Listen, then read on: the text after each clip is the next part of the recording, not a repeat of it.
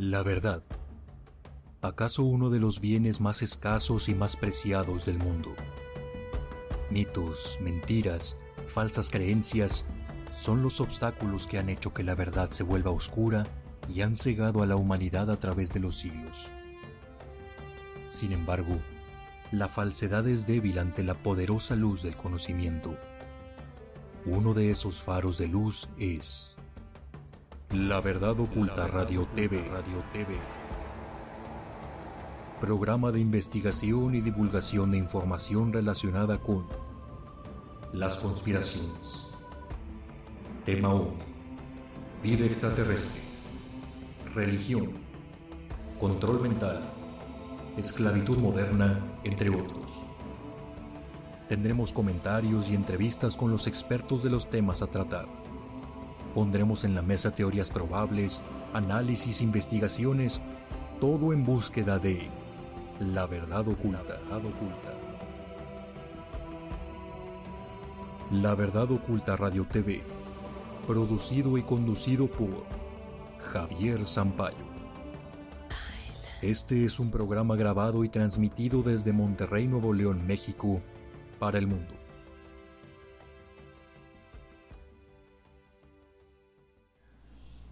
Muy buenas tardes, mi nombre es Javier Sampaio, director del programa La Verdad Oculta Radio TV y creador de terapias de hipnosis holística reparadora.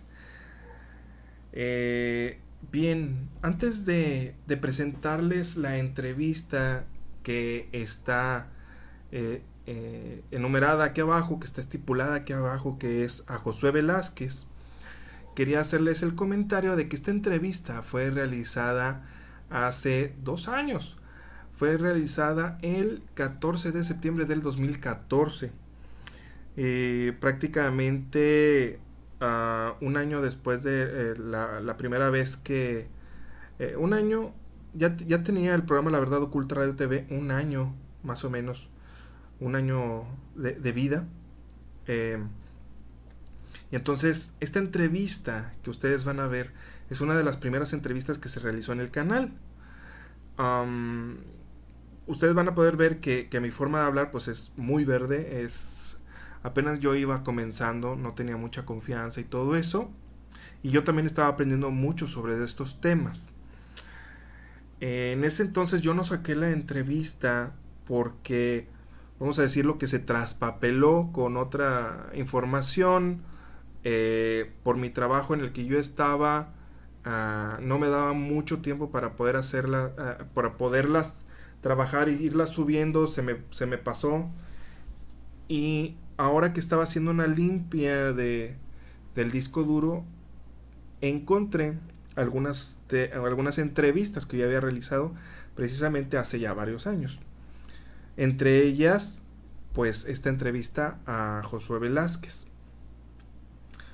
Josué Velázquez es una persona, vamos a decirlo, conocida entre el ámbito de la brujería y más conocido por una video, una charla, una llamada que se hizo ya hace varios años a una estación de radio, una estación de radio que tenía muchos años, que aparecía en frecuencia de la AM y era transmitido por un locutor muy conocido que se llamaba Ramón Sáenz, Juan Ramón Sáenz. Ese señor tenía muchos años con ese programa y recibió una llamada telefónica de, de, este cuate, de Josué Velázquez, que, fue una llamada, pues, eh, eh, prácticamente que, iba con el canal, que, eh, se llamaba La Mano Peluda y narraban eh, historias de miedo, eh, personas que veían aparecidos y este tipo de cosas. Entonces, cuando Josué Velázquez habló por primera vez, fue una, una llamada muy impactante, fue una llamada muy increíble, que incluso hubo gente que pensaba que estaba siendo actuado, pero no, no estaba siendo actuado. Y eh, se hizo un vínculo entre Josué Velázquez y y Ramón Sáenz y Ramón de, buen corazón quería ayudar a, a Josué Velázquez. Y pues los que todas las personas que siguen y que conocen de este conocieron de, esta línea de, investigación que, que, este señor Juan, Ramón Sáenz estuvo realizando pues saben que eh, Juan Ramón Sáenz murió en el año 2011 al parecer varios años después de la primera llamada, creo que unos tres o cuatro años, no estoy muy seguro, sinceramente no, no tengo el dato aquí, pero falleció el señor después de tener contacto en diferentes ocasiones. Ah, se logró una entrevista con Josué Velázquez, en la cual Josué Velázquez puso en dónde se iba a realizar la entrevista, eh, de hecho, ustedes pueden, pueden buscar toda esa información. Está en, en, YouTube. O sea, si ustedes le ponen Josué Velázquez, les va a aparecer mucha información. Yo creo que yo solamente voy a dejar este video. Porque mi intención no es darle... Mm, aunque va a parecer eh, mm, que es incongruente. No, no, no es que le quiera dar yo eh, afluencia o que le quiera dar...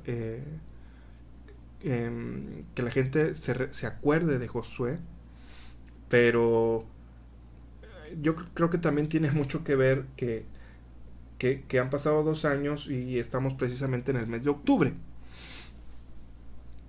Y mi intención de subir el video es que,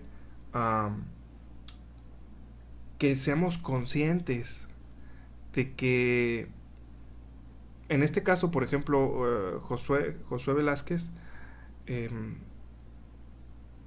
fue una persona que, que entró y entró en la brujería duro como muchas otras personas. Y cuando quieren salir de ahí, es toda una batalla. Yo no niego que se pueda salir, hay personas que han salido, yo he tratado a personas que han, que han entrado por medio de la terapia se han podido sanar, pero mi forma de trabajar es, muy, es completamente distinta. Es con luz, es con amor. Y las personas que ustedes, que, las personas, ustedes que han visto las terapias, pues saben cómo se trabaja. Entonces, ah, yo les puedo decir que brujería no se combate con brujería, pero pues si esa es mi perspectiva. Si van con un brujo, les va a decir que sí. Entonces, eh, volviendo al tema, eh, Juan Ramón Sáenz logró una entrevista con Josué, que está muy interesante, que fue en una especie de lago, donde fue acompañado por, un, por el equipo de Extra Normal. Estando con él, eh, pasaron cosillas raras, pero luego después todo el equipo que estuvo con ellos, ah, que, estuvo en esa entrevista, les pasaron situaciones extrañas. ¿Por qué? Porque sí, Josué Velázquez eh, estaba muy, muy pesado de energía. Estas personas que fueron a hacerle la entrevista no estaban preparadas para recibir esa cantidad de energía negativa que él estaba emanando y pues absorbieron, de cierta manera le sirvieron como esponja y absorbieron esa energía y o en algunos de los casos las entidades que estaban rondando se les pegaron a estas personas que ya lo han visto ustedes en, en entrevistas, en terapias que yo he realizado. Eh, esto es normal de cierta manera, que se te pegue una entidad si tú tienes una vibración baja. Si estás triste, si estás enojado, si estás melancólico y pasas por donde hay una, una energía de estas, es fácil que se te pueda pegar. Y más si tú estás en contacto con una persona que tiene este tipo de energías. Entonces, mm, esta entrevista de las pocas que se le han realizado a Josué Velázquez, eh, se formó, se realizó en el 2014 y no la había sacado, eh, prácticamente la saqué de un, de un este, desván o de un ropero Y pues por fin va a dar la luz, va a ver la luz la entrevista. Y hay otras entrevistas, eh, por ejemplo, eh, mi amigo eh, José Luis Rueda, lo, por primera vez en una entrevista que le hicieron él y César Buenrostro, también mi amigo, por fin José, este, este, Josué dio el rostro la primera vez, porque la primera entrevista que le había realizado Juan Ramón Sáenz, él no había dado el rostro, no quería que lo vieran, porque él había, él decía que él, como había hecho daño a tantas personas, él no quería dar el rostro para que la gente supieran que era él. Entonces, últimamente ahorita ya da el rostro. Eh, y él dice y asegura que él ya se salió de eso. Pues bueno, si él lo dice, yo tengo mis dudas, pero bueno, se respeta. Yo le realicé la entrevista con el mejor de los respetos, como siempre lo hago con todas las personas. Y como les digo, no es mi intención darle difusión o que la gente lo busque, pero sí que la gente se entere de lo que hay. De hecho, yo creo que él va a formar parte de... Es que siento, y voy a hacer otro video explicando esto, porque siento que como comunicador, yo puedo comunicar, yo puedo entrevistar a ciertas personas y simplemente paso el, el, el video en el programa. Pero es una responsabilidad muy grande que haya personas que están compartiendo una información que es negativa o una información que no es real o una información que viene eh, por supuesto seres que dicen que son de luz y no lo son. Gracias a Dios por los años, de, investigación y por los años de trabajo y ahora por el contacto con diferentes personas y, sobre todo por las terapias, porque se sabe mucha información, hay mucha información por medio de las terapias que se han realizado, eh, por la terapia de hipnosis holística reparadora, eh, que hay mucha manipulación, mucha. Pero no caigamos en el error de pensar que todos, todas las entidades que aparecen, o todas las entidades que dicen que son de luz, son oscuras. No podemos caer en ese error, porque lamentablemente estamos cayendo en un error de pensar que todas las entidades que dicen que soy Jesús, que soy María, que soy la Virgen, que soy Maitreya, que soy que soy que soy Ashtar, que soy no sé, pensar que siempre son seres oscuros y que están eh, están mintiendo. Sí, lamentablemente estamos cayendo en una trampa de pensar que todos son oscuros y no es así. Eh, si recibimos ayuda, si nos apoyan, si nos echan la mano. En muchos de los casos sí son oscuros, sí son, pero no siempre. No podemos caer en la, trampa de que siempre son oscuros. Pero también no podemos caer en la trampa de que en las entrevistas, tanto mías como de otras personas, todos los contactados son contactados de luz. ¿Me explico? O que toda la información que bajan son de seres de luz.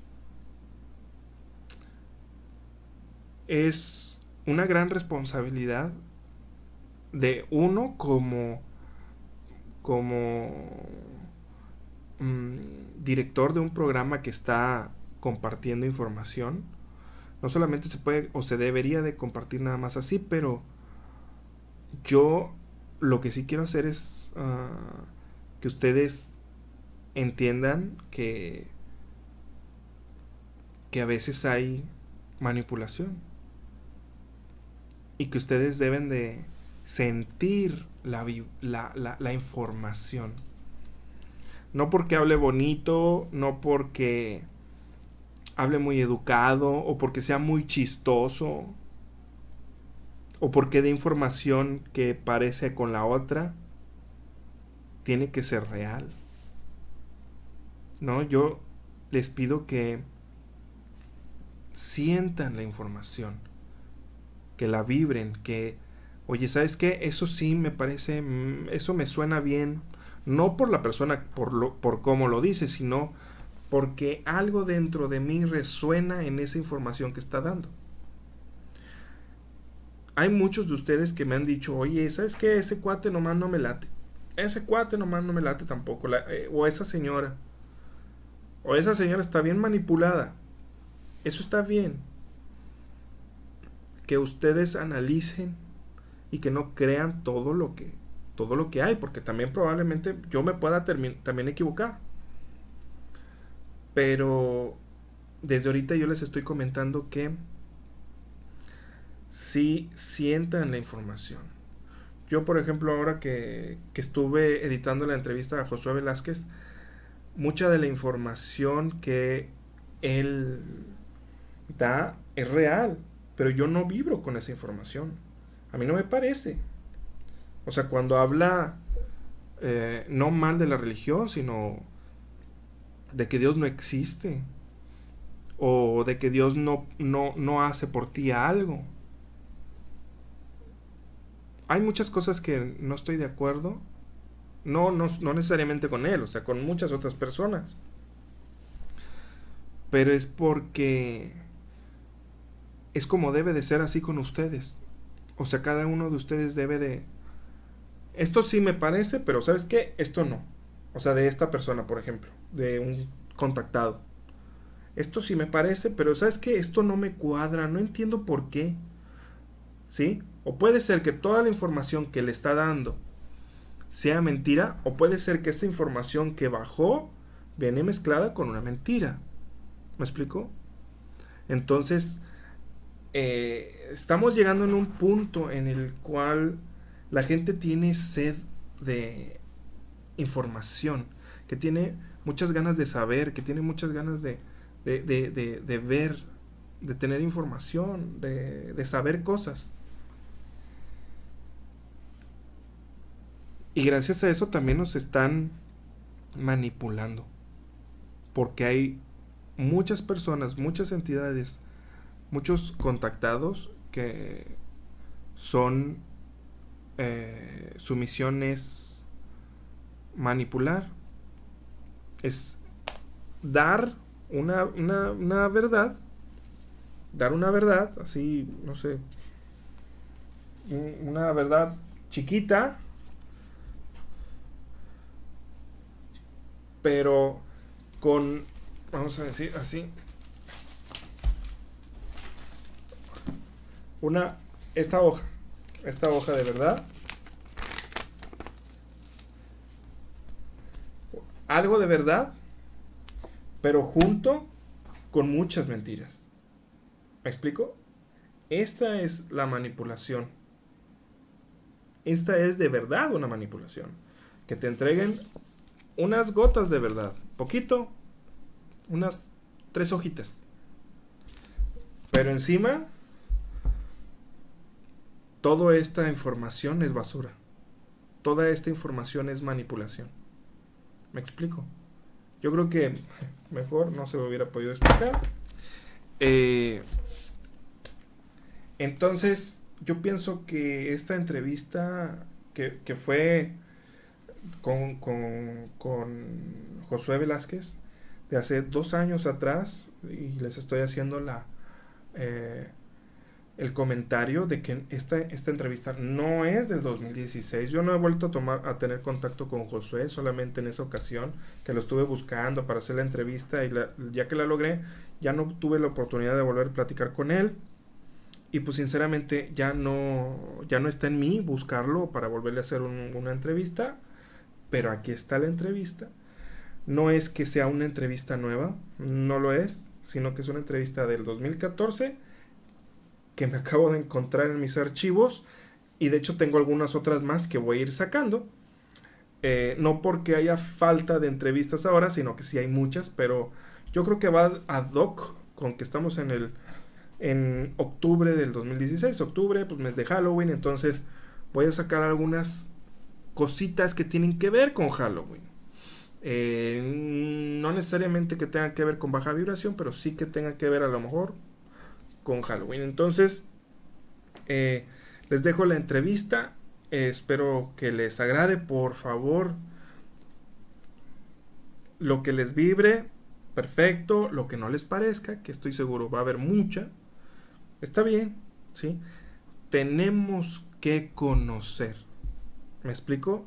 No necesariamente meterme y mancharme las manos, pero tenemos que conocer de que hay gente, no como, probablemente como Josué en algún tiempo, no lo sé si lo sigue haciendo, pero hay gente que imprime energía a las personas. Y, lamentablemente no es energía buena. Es para hacerle un daño, es para hacerle un mal. Y de todo eso estuvimos hablando en la entrevista. Entonces, eh, espero que les agrade, espero... Eh, yo sé que es a lo mejor como que algo diferente porque siempre hablamos de, de cosas positivas,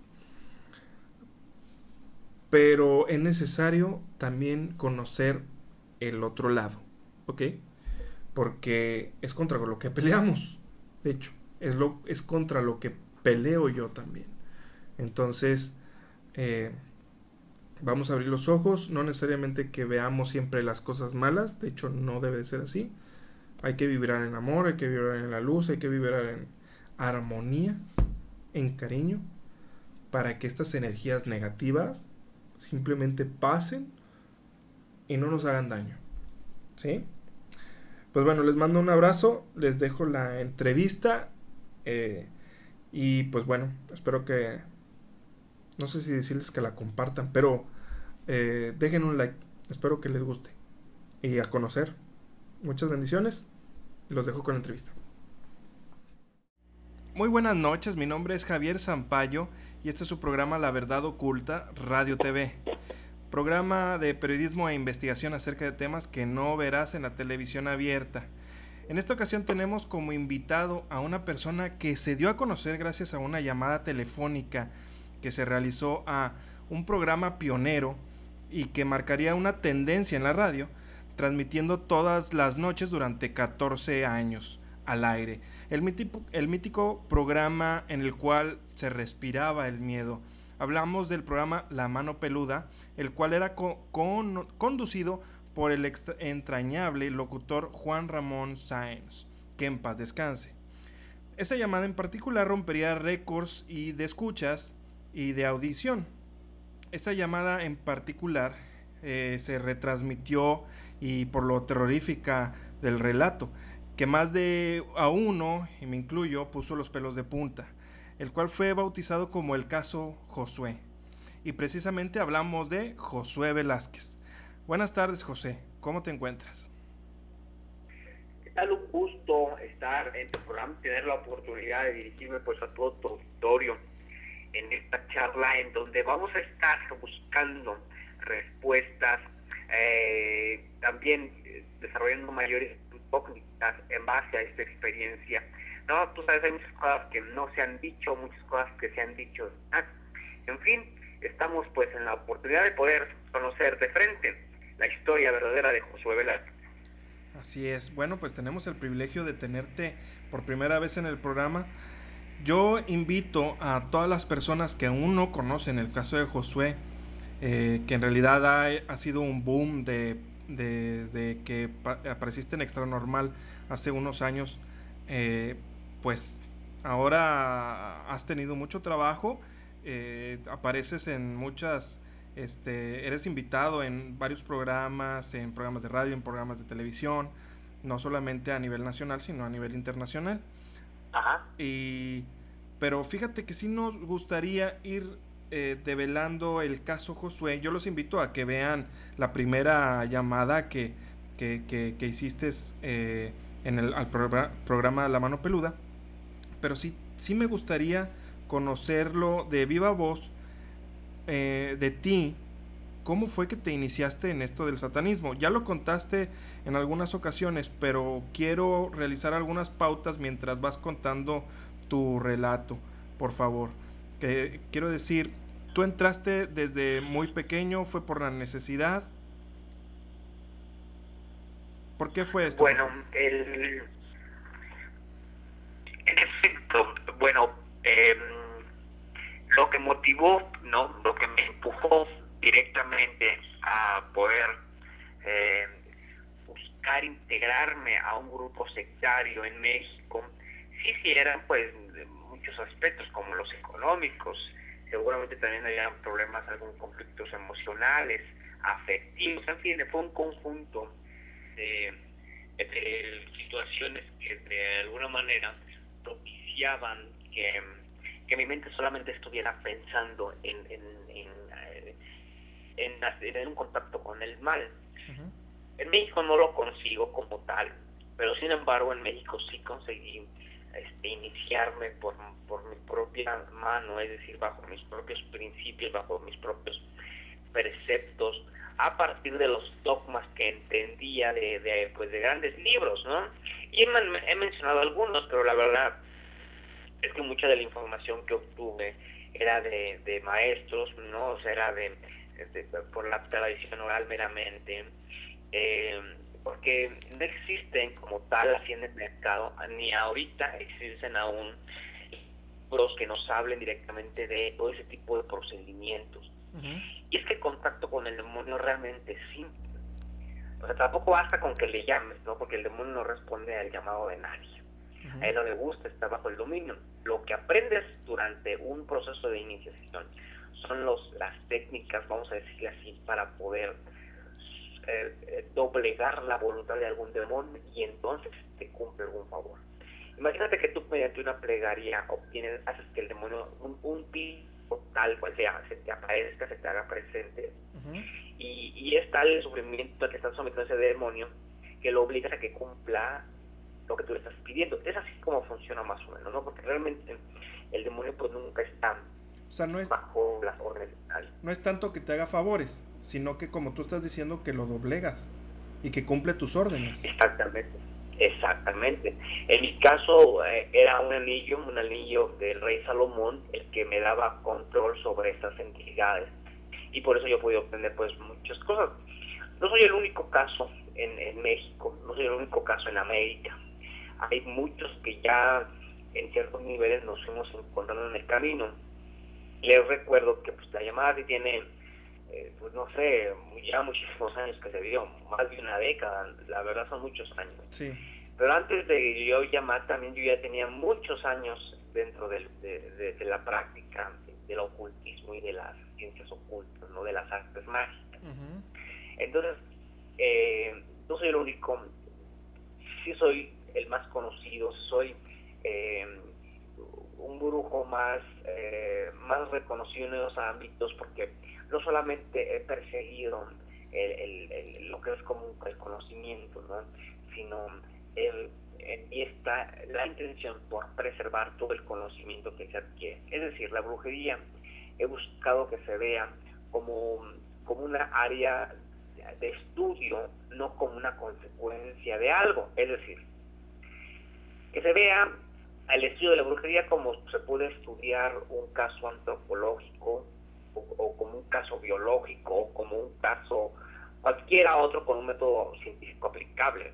No que se vea a la brujería como algo que dice, ah, pues la, gente, la gente que no tiene estudios cree en la brujería, la gente que no fue a la universidad cree en brujería, la gente que es proletaria o lumpen proletaria, este, es ignorante y por eso creen en brujería. No, la brujería hay sacerdotes católicos, en la brujería hay, pues, hay, filósofos, hay teólogos, hay este, abogados, hay, hay diferentes ramas, porque la brujería en México tiene esa connotación, una connotación así como de, de algo eh, sin un valor tan importante.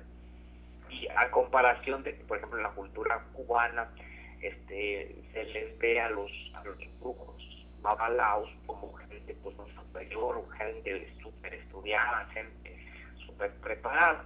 Y realmente un babalao tiene este, el mismo valor en un brujo mexicano. Y yo busco la conservación de este conocimiento a través televisión de libros, ¿sabes? Estoy al frente del proyecto Casa de lo que es el proyecto para el estudio profundo de la brujería mexicana, y tenemos la que edita, publica, de esa manera buscamos transmitir lo que cualquier maestro sabe. En esta casa pues integra eh, alguien que conoce sobre astrología, alguien que puede explicarnos sobre la relación de los, sí, de los astros con nuestra vida, eh, hay cartomancistas, y, y, todos ellos que son practicantes de estas artes, la mayoría también tiene este, eh, otra preparación universitaria, ¿no? Hay médicos, usted decía también hay sacerdotes católicos, ustedes que para nosotros este, eh, aunque nosotros no consideramos que un diploma no hace a una persona, sí. consideramos que una persona que con un poco más de conocimientos técnicos, pues le va a ser más fácil eh, cumplir este tipo de transmitir el conocimiento. Bueno, eh, divagué un poco del tema referente a cómo me integro a esto. Y te decía, porque en esos momentos para mí fue muy difícil buscar que me porque todos, todos decían, que todos andaban buscando eso y que no era conseguía. Lo que entendía ahora a partir de muchísimos años es muy simples, muy sencillos para poder acercarse al demonio. Pero este, lo que ocurrió en mi caso es que pues yo perdí, pues la fortuna perdí todo el control que tenía sobre mí y este, mi fuerza mental mi fuerza espiritual y por eso es que sucumbí por el miedo. Ajá, no porque el pacto haya acabado. Realmente aunque yo lo desconocí, el pacto es vigente. A ver, bueno, tú comentaste que entraste ah. en esta cuestión del satanismo porque tú venías de una familia que estaba bien acomodada, pero que después se quedaron sin dinero. Y sí y por esto es que te adentraste. Hay muchos casos que de, de, pequeños o de niños que, que, buscan o que encuentran en este tipo de, de sectas eh, un amor que no encontraron en su casa o porque en su casa eran golpeados o eran este tal vez mutilados o... y, no, necesariamente ¿eh? y no necesariamente la, el desorden ¿verdad? La disuasión entre la afectividad, la conexión que existe con la emotividad y con tu cerebro. No solamente se ve una persona que es, golpeada o una persona que es maltratada. Se puede dar desde a personas que se todos los aspectos, totalmente respetada en su casa, pero que la actividad o, el ambiente que se desarrolla le parece muy vano y están buscando pues algo, ¿no? Pero si mira, este punto es muy importante. Sí. Porque alguien que tiene el mismo trastorno, por así decirlo, de atención, no se hace de dependiente ¿no? La mayoría no se hacen drogadictos, otros se hacen alcohólicos, hablamos de juventud, ¿no? Sí, claro. Otros hacen eso y otros se, se vuelven se vuelven dentro de, de, los grupos sectarios y un grupo sectario pues es desde la pandilla, desde la ganga, está la igual funciona como la Mara Salvatrucha, como Barrio 18, como los Mexicles, como los Mexicas, como tantos y tantos. Son grupos sí. que, tienen un líder, que son conformados, tienen una estructura social, una estructura de mando. Disculpa, pero te escucho un poco, te escucho un poco lejos, discúlpame, pero te escucho un poco lejos. ¿Cómo me escucho ahora? Se escucha A ver, ¿cómo me escuchas mejor? Ahí se escucha mucho mejor. Para que nuestros amigos te puedan escuchar. Sí, te decía, pero la gran diferencia es que existe un llamado del pingo a ciertas personas. ¿Sí me explico? Es decir, el, demonio cuando busca perder un alma o perder, perder la mente de una persona, le va a poner las condiciones. Porque al final de cuentas el diablo no te puede robar. Al final de cuentas el diablo no te puede ¿cómo decirte? Obligar a que tú tomes una decisión, pero sí te puede coaccionar para eso, ¿no? Sí te puede doblar la mano, por así decirlo, para que tú cedas. Es decir, él va a generar las condiciones. O sea, te va a guiar. Pero, pero, solamente ocurre esto cuando la persona previamente, o sea, fíjate, en toda mi experiencia me doy cuenta que las posesiones demoníacas y el contacto con el demonio únicamente se da cuando la persona tuvo ya un contacto pre. Es decir, tú a tus 20 años, por ejemplo, puedes haber tenido contacto con, con imagínate que lees alguno de mis libros, ¿no? Aunque yo no hablo realmente sobre el culto del demonio en mis libros, ninguno de mis libros. Sí hablo sobre brujería, o sea, hablo sobre brujería, son manuales reales sobre ¿no? Y tienes ese contacto y después, bueno, pasó y sin embargo, ya imaginemos una década después, hay circunstancias que te hacen recordar lo que hacías y empieza entonces a, terminar en ti esa idea, ¿no?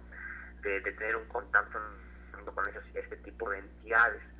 Alguna gente se va metiendo en la brujería, alguna gente se va metiendo pues, en ciertas religiones oscurantistas, como puede ser palo, mayombe, este, vudú, el candomble, el, el macumba, cualquiera que entonces, siempre se tiene que cumplir esta, esta se tiene que cumplir esta primicia de el demonio solamente se le hace presente a quienes lo han llamado con anterioridad. Por eso dice el pin que él toca la puerta, hay de ti si abrieres. ¿Me entiendes? Entonces, este, cuál hayan sido las circunstancias, te decía, en, en mí ese fue un aligente, no constituyó, por así decirlo, el único motor que me impulsaba a buscar el contacto con, con alguna entidad. Sí. ¿No? Pero tal vez fue lo que más en mi mente funcionaba. Pero es que además yo tampoco era un niño, nunca he revelado la edad a la que empecé. Bueno, sí, sí lo he dicho, pero la gente juega mucho con la... la gente me, hace, me supone pues muy joven, algunos muy viejos, pero la verdad es que yo tengo en la práctica de, de la brujería mexicana más de eh, 20 años, como más de, no, casi 26 años, ¿no? Entonces, eh, así es esto, ¿no? La brujería constituye, te decía, pues una manera, es ese conjunto de técnicas que te permiten alcanzar la posibilidad de generar las condiciones que sean propicias para que tú alcances o determinado objetivo. El, el demonio te ayuda, te protege, te provee, porque eso es real, o sea, eso es real. Eh, y, los pactos eh, han existido como dogma en, el ser humano en todas las religiones. El matrimonio es un pacto, ¿no? Dentro de la de, de, un sacramento en la ley de Dios, el, el, bautismo es otro pacto, ¿no? En donde se pacta quién es esa persona, donde se pacta, la confesión es otro pacto, ¿no? En donde se reafirma la voluntad de, pertenecer a cierto grupo religioso, ¿no? Y, y esos son los más graves. Pero luego, por ejemplo, a, lo más hombre, en donde se hacen pactos con muertos, ¿no? Si se hace un pacto en donde se le compromete uno a estar alimentando al muerto con ofrendas o eso, mientras el muerto esté proveyéndonos de lo que uno le pide. Sí. Hay brujos, hay brujos que, se convierten en brujos para su propio eh, eh, es decir, que anden eh, consultando a gente, no, sino para ellos. Hay otros gente que sin la religión, que se convierte en brujos, que alcanzan niveles jerárquicos dentro de la brujería, y sí ponen sus templos o sus consultorios, cosas así. Yo no tengo consultorio, yo no tengo este nada de eso. Casa Grimorio es un lugar exclusivo para maestros. Aquí viene puro maestro. Ok. Yo tenía entendido que cuando se te da un don, bueno, vamos a hablar que se te da un don de parte de Dios, que es, por ejemplo, la clarividencia, eh, poder sanar a otras personas con las manos o imposición de manos. Yo sabía o tengo entendido que estas personas no podían cobrar, pues si hacen lucro de este que es un don, el don se pierde. ¿Pasa lo mismo con pues, pasa lo mismo con, con, lo que es la brujería o este tipo de cosas? Digo, bueno, creo que no pasa porque hay un hay un costo. Sí, esto sí porque genera genera eh, un esfuerzo, genera la aplicación. Les va, los no cobran por lo que hacen, sino por, por el mal con lo que con el que se queda, ¿no? Cobran no por lo que se cansan sino por lo que saben hacer. Claro. El brujo es una alternativa mágica, es, es una alternativa en una tercera dimensión presente en este plano de cosas. No, eh, eh, un brujo no es sobre milagros, es un maestro que sabe manipular la energía. Entre más experimentado sea este maestro, por supuesto que tendrá mejores resultados. Y, y, veamos cuántos médicos se reciben, imagínate cuántos médicos se reciben de, de alguna universidad prestigiosa, ¿no? Sí. Y, y cuántos de ellos se puede decir que, son talentosos. No, no creo que todos. Claro. Y a su vez, entre un, entre un médico sea más virtuoso en, en, en, en sus técnicas, tenemos a un neurólogo, pues él se puede cotizar y puede cobrar y trabajar en la clínica que él quiera o ser catedrático de la universidad que él quiera, lo que él quiera por lo, porque lo que él sabe, nadie más lo manipula. ¿Sí? Entonces yo diría, la inteligencia es o no un don de Dios. Si fuese brindado por Dios, y como tú dices, siguiendo ese principio, que pues no, no sé dónde se remita, entonces diría, bueno, como Dios se lo dio, pues no tendrá que cobrar, siendo que así no ocurre. Lo que pasa es que estas, las personas tienen esta idea porque consideran esto como, como algo fortuito. Muchos grupos sí obtienen poner de una manera inesperada, aunque sí buscada, y otros sí se esfuerzan eh, grandemente en conocer ciertas técnicas, ¿no?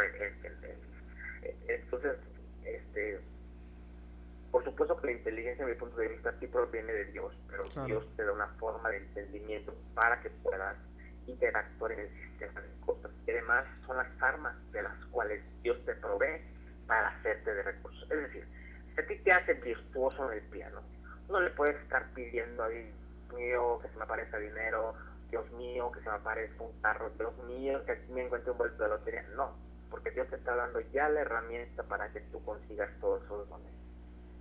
Claro. Es uno el que no lo entiende. Siempre uno lo supone, este, además todos imaginamos que nos merecemos todos sin considerar que cuánto de nuestras peticiones le están robando de más algo a alguien. Además, la regla en el universo se tiene que cumplir, donde tu felicidad no debe equivaler a, la pérdida de la felicidad de alguien más. Si eso será, entonces ya está interviniendo en la ecuación. Bueno, acuérdate que eh, peca o comete falta ante Dios, eh, el que puede ayudar no lo hace. Eso también es ser malo. Sí, entiendo. Ok. Entonces, este, te digo, entonces, digo, para resumir, eh, por supuesto, yo no veo mal en ningún, en ningún caso que los maestros. Mira, yo en Casa de Grimorio con mucha información de los brujos, de los maestros tradicionales, de los pueblitos de Oaxaca, Veracruz, Chiapas, en donde andamos en los pueblos, o sea, realmente en un pueblo y vemos el curandero que lo, lo que él te cobra por curarte de espanto, por ejemplo, son 10 pesos. ¿Sí? Rituales que aquí en la Ciudad de México un brujo te puede cobrar en 10 mil. ¿Sí me explico? Pero eso se va a dar ya en relación pues a la oferta, a la demanda y ya cuestiones pues ya muy mercantiles, ¿no? Es, como yo.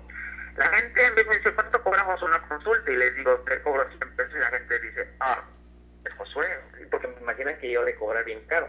Entonces les digo, te cobro mil pesos por una consulta y la gente dice, wow, me, sí me atiendo contigo. ¿Sí me explico? Es una cuestión psicológica meramente. Por eso yo no atiendo, porque pues para mí sí me resulta muy difícil lidiar con las mentalidades de las personas. Porque además en estas cuestiones de brujería yo solamente soy un artífice de las energías. Yo no me encargo de los problemas morales, ¿no? O sea, si alguien viene y me pide algo y si están mis posibilidades, ¿no? Es probable que lo acepte, aunque sea muy malo. O sea, no, no intervengo en decirles está mal, piénsalo, bla, bla, bla. No, no, o sea, no intervengo. A mí no me corresponde la, el análisis moral de estas cosas. ¿Por qué digo esto? Porque la brujería es real, existe. Se fundamenta en principios que, que son fáciles de entender, solamente que hay que saber comprenderlos y que, y que está presente. El demonio es el dueño de ese sistema de cosas. Su mejor arma es que no creamos en él.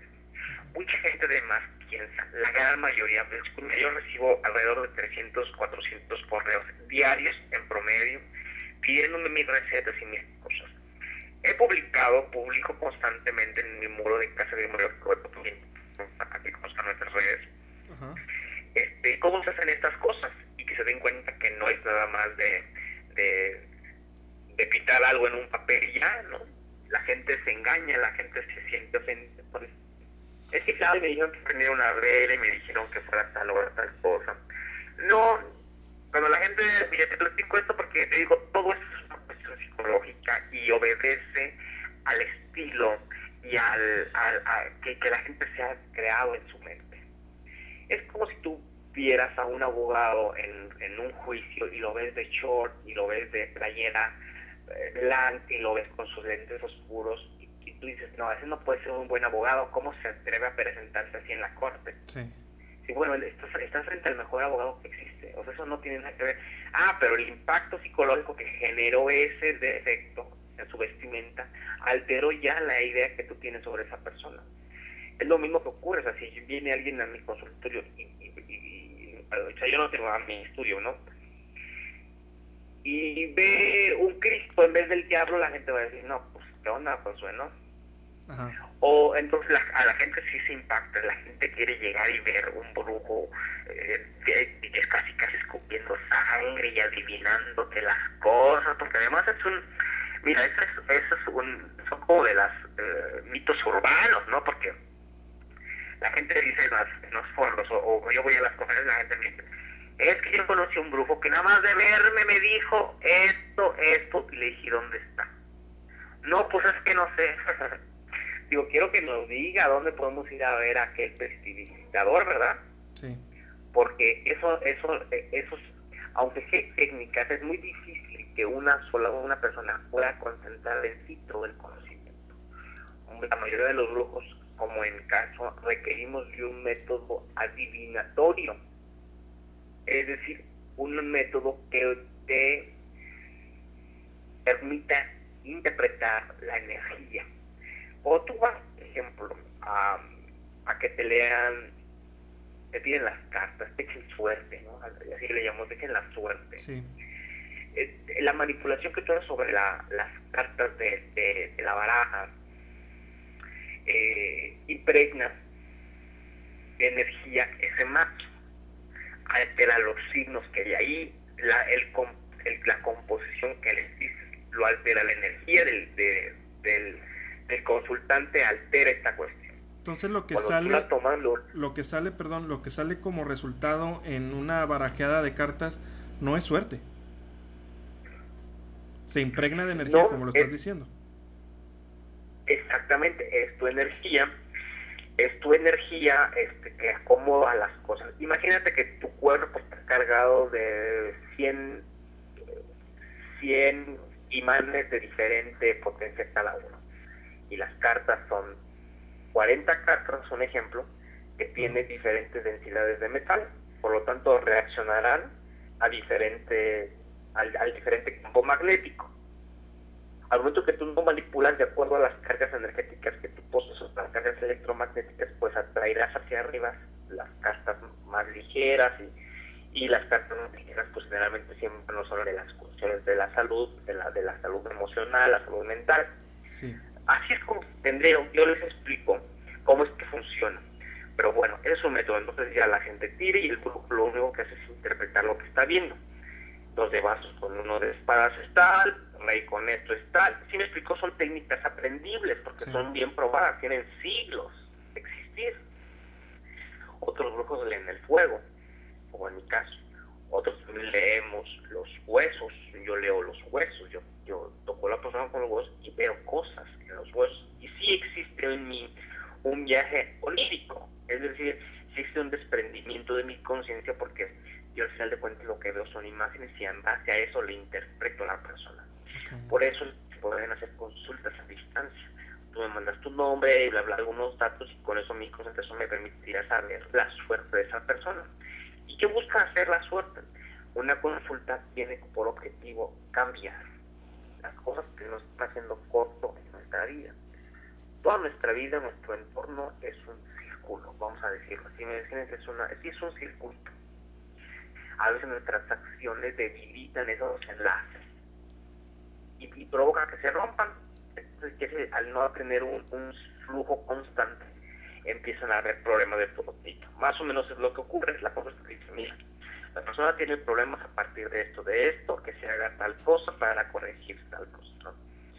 Pero digo, muchas, este, mucha gente tiene una idea de logía muy falsa. Por eso uno de los grandes objetivos que perseguimos en Casa de Morir es simplemente mostrar, porque además no escribimos libros de como aunque se constituyen verdaderos tratados de magia, o sea, donde yo te explico ahí qué es este cuchillo y cómo se hace y para qué sirve y, qué es capaz, de hacer. O que tal lleva mesada con tal cosa a tales horas, qué efecto da. Eso, o sea, aunque sí se, se escriben los libros a una manera de consulta. Tú sabes que hay muchas universidades en donde los libros ya están y que sirven como referencia. Pues eso para nosotros es lo importante porque si buscas, sabes que por ejemplo en Europa hay escuelas en donde bueno, también como en Argentina, que te puedes eh, licenciar en, la psicología, que no existe en México, ¿no? Exacto. Pero sin embargo, se dan cuenta que eh, constituyendo bien el estudio sobre algo, se puede dar. Y la, el estudio de la brujería, bueno, tiene milenios, ¿no? Entonces, eh, es así como funciona la brujería, ¿no? Eso es el conocimiento que te da la naturaleza.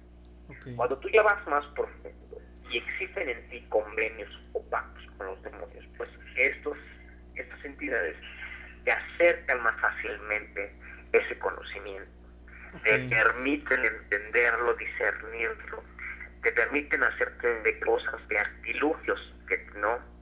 O sea, tú te puedes quedar en el conocimiento teórico, vamos a decirlo, de que uno más uno, dos, o ir más profundamente ya cuando has hecho ceremonias de tanto y tener una evolución espiritual mucho mayor, en donde entonces sí ya estás capacitado para volar, para espiritualmente ir a hacer daños, curar.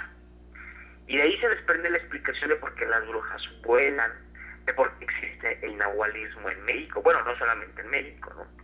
¿Y cómo es posible eso? Nada más que dicen, son mitos. ¿Por qué? Porque simplemente han buscado explicarlos desde un punto de vista que no corresponde a lo real. Obviamente, mira, la magia, al igual que los milagros, obran respetando las leyes de la naturaleza. Sí, por, eso es que cualquier fenómeno puede explicarse, aunque muchas veces no, no tenemos el conocimiento suficiente para entenderlo. O sea, aunque sea un milagro, existía un sentido, o sea, de cuenta. Si a, ti, te va a caer pues una tonelada de, de, metal sobre ti, ¿no? Pues ahí se aplica toda la ley física. Y, se va a obrar el milagro, va a obrar el milagro de que te vas a salvar, porque tú no te das cuenta que te, va a caer eso encima. Y te vas a salvar a través de que te, de que este, de que, no creas que no te va a hacer daño, la, por supuesto que si te aplasta, te va a matar. No, entonces, eh, espiritualmente, mágicamente, de cualquier forma, pero se tiene que dar la condición física natural para que este proceso, este proceso, o sea, sin alterar las leyes físicas, se dé. Entonces imagínate que en el piso pues se abre un piso, un, un hueco en donde tú cabes perfectamente. Entonces tú vas caminando, de repente se abrió el suelo, y caíste y después cayó el gran peso y no te hizo daño. El milagro se dio en que se juntaron todas esas características físicas casi imposible de dar para que tú te salvaras, ¿no? Así funciona esto. O sea, cuando uno hace peticiones a las entidades, ellos también eh, lo hacen a través, a partir de cuestiones, por ejemplo, yo muchas veces no expliqué, yo decía, sí, a mí sí me aparece el dinero, pero no cómo. Este se hace a través de la de que conocía gente, de que se cerraba un negocio, cosas así, porque de alguna manera se tiene que dar. Incluso todavía, te digo, en brujería se usa este mismo principio tan antiguo, en donde a las entidades se les dice que quiere uno. Vosotros no le dice, ah, ya me llega dinero, no, no le dice voy a salir a vender esto y quiero personas así, que me lo porque Disculpa, pero te volvimos a perder la llamada. Se escucha muy bajito. Ok, bueno, ¿en dónde me quedé? A ver. Ahí se escucha, ahí se escucha. En el cual sales a vender Ok. y... Sí, es decir, tú tienes que hacer lo que se llama una programación. Tienes que decirle a esas entidades cómo quieres ver resuelta el, el conflicto o la situación. No que tú tienes ganar necesidad de dinero, simplemente te pones a gritarle al demonio. Tráeme dinero, a mí no me importa de dónde tráeme dinero. Y de repente matan a tu esposa, la atropellan un, una patrulla, imagínate. Entonces el dinero te viene del seguro de la, por la muerte de tu, de tu mujer. Por eso hay que tener mucho cuidado cómo se utiliza la brujería. La gente dice que la brujería negra se regresa. Eso es mentira. El que lo ejecute es quien paga. Por eso a ti te cuesta que uno te haga cosas, porque uno es el que se queda con esas cosas.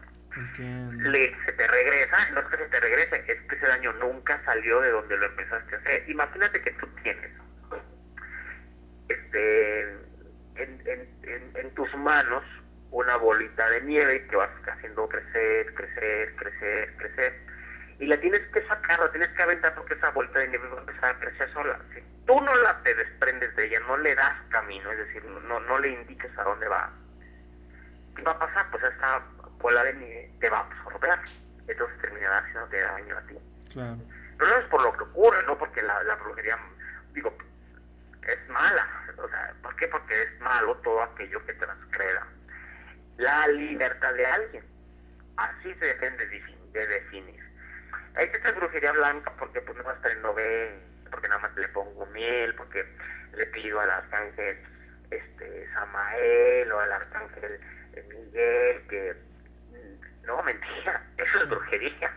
¿Eso es brujería también? Y todo. Claro, por supuesto. El principio de saber si lo que estamos haciendo es brujería o no es brujería es todo lo que esté destinado a cambiar el libre albedrío de alguien es brujería. Mala. Ok.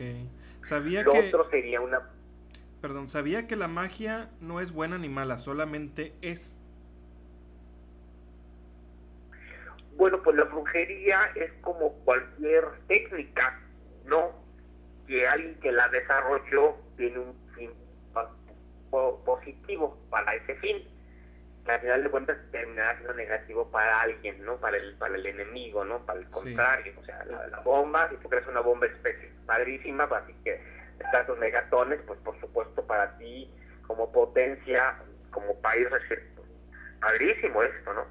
Pero sin embargo, pues va a ser mala para quienes son tus enemigos y para quienes la vas destinando. El punto es lo que cambia absolutamente todo y generalmente es lo que le da el valor a las cosas o a las acciones, en decir si será bueno o si será malo.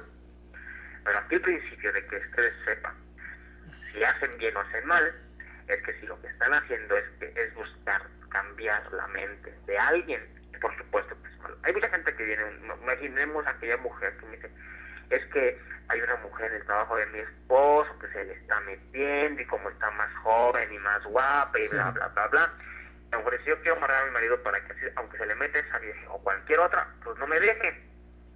Eso es lo más simple. Hay otra gente que dice, yo lo que quiero es pues, que, este, que él piense bien las cosas, se defina, que me dé lo que me corresponde y me deje. Ajá. Si me explico, eso es muy distinto.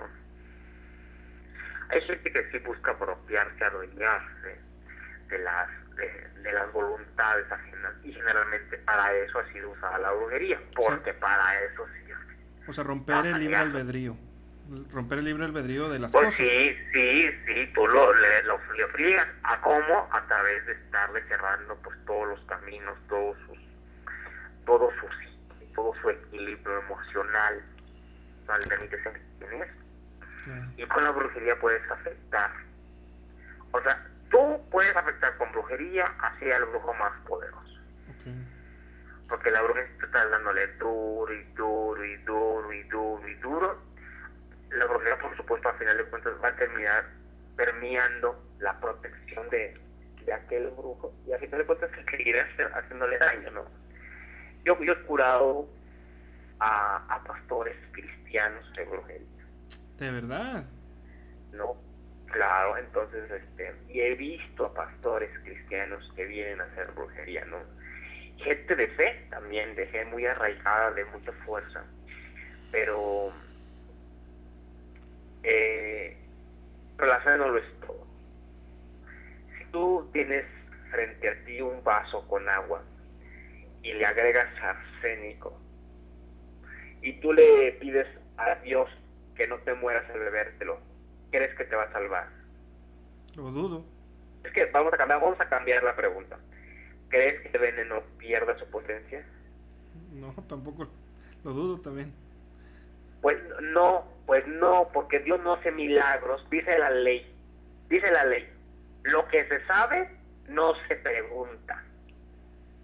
¿Cómo me vienes a decir que el alacrán no te pique cuando tú vas y lo buscas? Ya sabes que eso es malo, entonces sabes que no se toca. Así de simple. Si tú lo tocas, tendrás consecuencias. Punto. Claro. Entonces, tenemos equivocada nuestra fe, la manera en que enfocamos nuestra fe y nuestra energía en el poder divino lo tenemos mal enfocado. Creemos que nos merecemos lo que merecemos. Creemos que nos merecemos salud, que por lo tanto pues vamos a ser merecedores de cualquiera de esas cuestiones, ¿no? Ok, entiendo. Entiendo. Bueno, mira, Josué, regresando un poquito a lo que es tu iniciación en esto de... Bueno, cuando iniciaste en el satanismo, dices que ya saliste y ahorita quiero que nos comentes acerca de eso. Cuando iniciaste, o sea, tú contaste que tuviste que dar como una especie de ofrenda y en esa ofrenda diste a lo que fue tu, tu abuela, ¿sí? Ya que estuviste, ya que estuviste dentro de, de, esta secta o del satanismo, que lograste tu objetivo de poder entrar, que se te haya dado el anillo eh, y el poder que estabas buscando y el dinero y todo esto, eh, ¿volviste a realizar algún tipo de, de ritual de sangre o estuviste presente? Sí, por supuesto, dentro de la... Mira, en un principio yo no pertenecía a ninguna secta. Fue al momento que yo ya estaba muy establecido, eh, que estaba en Estados Unidos, estaba ya este, con un grupo de, pues sí, de contactos, de conectos ya de la misma onda, de las mismas líneas religiosas. Sí. porque dentro del satanismo hay muchos niveles y hay muchas o sea, imagínate que vas a una iglesia católica de Tepito o a una iglesia católica de Lomas de Chapultepec. Sí. Es la misma religión, pero pues las cosas se dan distinto porque en una la gente aporta más que en otras. Sí. ¿Sí me explico? Esa es la gran diferencia. Es decir, si tú, si el demonio te pide, por ejemplo, estar en una ceremonia negra de iniciación, imaginemos que estamos en una ceremonia de entronización. Es decir, en una ceremonia en donde se va a dar, se va a hacer presente un nuevo brujo, o sea, un brujo que recibe las ceremonias de entronización, de culto a Satanás. Y entonces todas las gentes pues vamos, siempre vamos vestidos de una, de una forma muy especial y lo que nos distingue son los prendedores. El prendedor se nos pide, o sea, la, la, la, la la ley satánica nos pide que tiene que ser simplemente un hueso, una clavícula de niño y nada más. Okay. Pero habrá quien quiera adornar diamantes, habrá quienes le pongan algún zafiro, alguna esmeralda, ¿no? ¿Sí me explico? Es como una especie de báculo. Pero entonces... ¿Perdón? Como es como una especie de báculo. No, ese es un, un, con un alfiler que va en tu... En, en, tu lado izquierdo que indica que tú eres brujo y que estás, que tienes hecha ceremonia. O sea, tú puedes, en una secta hay muchos, imaginamos, imaginemos que estábamos en una iglesia cristiana donde están todos orando, pero hay gente que no tiene permiso, igual que en la católica, de estar en ciertos niveles del altar, porque solamente ahí se siente el sacerdote, aquí se siente el presbítero, el diácono y y ahí el laico, ¿no? Los que ayudan. Igual en la iglesia católica, en la, en la cristiana estará pues el pastor y luego el, tal vez el obispo eh, y bla, bla, bla, bla, ¿no? Así, Y todos los demás son fieles, son seguidores, pero no tienen ningún grado como ellos. Así es esto. Tú puedes ir a una secta, imagínate que yo te encuentro en la calle y te digo, oye, pues este, tú me platicas que te va mal, yo digo, no, pues te invito a la iglesia, porque pues ahí te, pues, te llevan en presencia del Señor a que le digas que te ayude, porque eso es real, eso existe. ¿Cómo, cómo Josué Velázquez atiende a tanta gente pues de esa manera? Yo los llevo en presencia del Señor, ¿verdad? Este, y a que se les quite lo que traen el daño o a que se les provea de algún recurso, ¿no? Lo que sea, lo que quieran ahí se va y se les pide, ¿no? Este, y ahí se, entonces yo te invito, y así se dan las, así es como se recluta gente realmente para la iglesia satánica. Porque hay dos tipos de cosas. Una que es la gente que soporta, imagínate como las onitas, que son las que proveen, que son las obreras, y otra nada más los que son las reinas, ¿no? Las que están ahí teniendo pues huevillos acá es la gente que está pensando cómo hacer crecer, crecer más la secta, ¿no?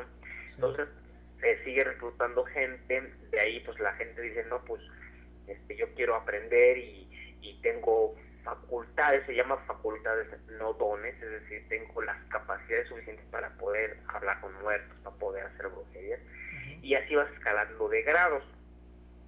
Y en todas estas ceremonias siempre existe el sacrificio de sangre. De una o de otra Puede ser directa, es decir, en donde tú estás en presencia de un homicidio, o simplemente ya llevan ahí este sangre, pero tampoco, tampoco necesariamente tiene que ser la, este, eh, eh, la sangre de un difunto, puede ser sangre viva, porque además es distinta la sangre oxigenada a la, sangre pues, ¿no? Entonces en esas ceremonias que se hacen, pues este, pues la sangre que se trae en los cálices, digo, en una secta pueden ser vasos de cristal y en otra pueden ser de cristal, ¿me entiendes? De. Ajá. es ahí lujos ya son dependiendo quién preside ese templo o esa iglesia. Sí. ¿No? Este, y siempre estar en unos muy lujosos, realmente muy, muy lujosos. Pero bueno, el chiste es que eh, una vez que está un gran eh, balde eh, o, o imagínate una cazuela, ¿no? Puede ser de, de, cualquier... Aunque sí, esa cazuela sí debe tener este, incrustaciones de oro porque le da un, un sabor especial a la sangre. Y, este, y aunque la sangre apeste, porque está podrida, este, no sabe a nada. Entonces ahí la, lo, lo, colocan, este, ya lo agitan y esa sangre pues obviamente hacen los coágulos, ¿verdad? Ahí los coágulos de sangre y eso es lo que se hace en trocitos y se pasa a repartir y es lo que se come. Es decir, en ese tipo de efectos no, no se captura a alguien y están los tambores y, la, y la mujer allá gritando que ya la van a matar. No ocurre en estas así, pero sí hay en las que así lo hacen porque el líder lo supone que le agrada al pino, pero pues la verdad es que no todo depende mucho también de quién es, porque no existe además dentro de la, de la iglesia de Satanás, no existe, un, no existe una estructura antigua. Todas las leyes, las normas, este, el principio dogmático es contemporáneo. Sí. Orden la ley, este, no. La ley, perdón. Antón este, Santo la ley, ajá. Ajá. Eh, Ajá. La, este, nos, nos, explica un poco sobre los principios y todo esto, ¿no? Pero al final cuentas, este, porque no existen normas, es, como el culto de la Santa Muerte, no hay leyes, no hay reglas, nadie ahí, aquí todos se pelean de que si el altar es así, si el altar es acá. Y realmente la Iglesia Católica en sus principios primarios ha ofrecido pues la información. O sea, son el principal punto de, de para todos los demás grupos sectarios. Las misas negras representan una iglesia, una misa de la iglesia católica. Una misa de la Santa Muerte representa una misa católica. O, no, o a poco no los que dan culto se ponen sotana y, y, eh, y túnicas y todo eso. Sí. Porque la iglesia católica es nuestro, pues, nuestro único eje tangible. ¿A poco no los, los rosarios que se le dan a uno u otro santo están tomados de los rosarios católicos? Lo que hacen nada más cambiarle al santo al que le piden. Claro. Pero es lo mismo, porque no existen estructuras. Ajá. Y entonces hay sectas muy sanguinarias a las que se obedecen grupos criminales y que su constitución obedece a la, a la solicitud de protección espiritual para ellos. En otros casos, el grupo sectario obedece a un club, o sea, a una asociación de gente, tal vez muy culta, que se reúne para darle culto a una entidad no bien vista ante los ojos de todos. Es esa la gran diferencia. Entonces puedes ver en uno en donde te sirven este, eh, sangre en, en, en, en, donde tal vez tú la bebes directo del, del balde o te la ponen, te digo, en copas de bacará, ¿no? O, o, en un cráneo mismo, ¿no? O sea, eso ya depende de las cosas, pero aquí se ven y hay, pero hay mucha gente mal la cabeza. Esta, esta sangre que utilizan para beber viene mezclada con, con drogas, creo, ¿no? Eh, a, a veces, dependiendo. Dependiendo.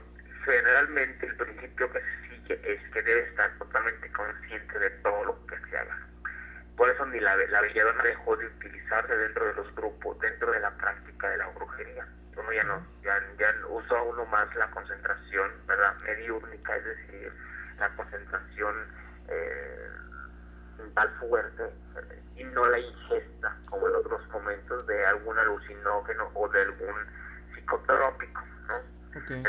a, este, de una droga.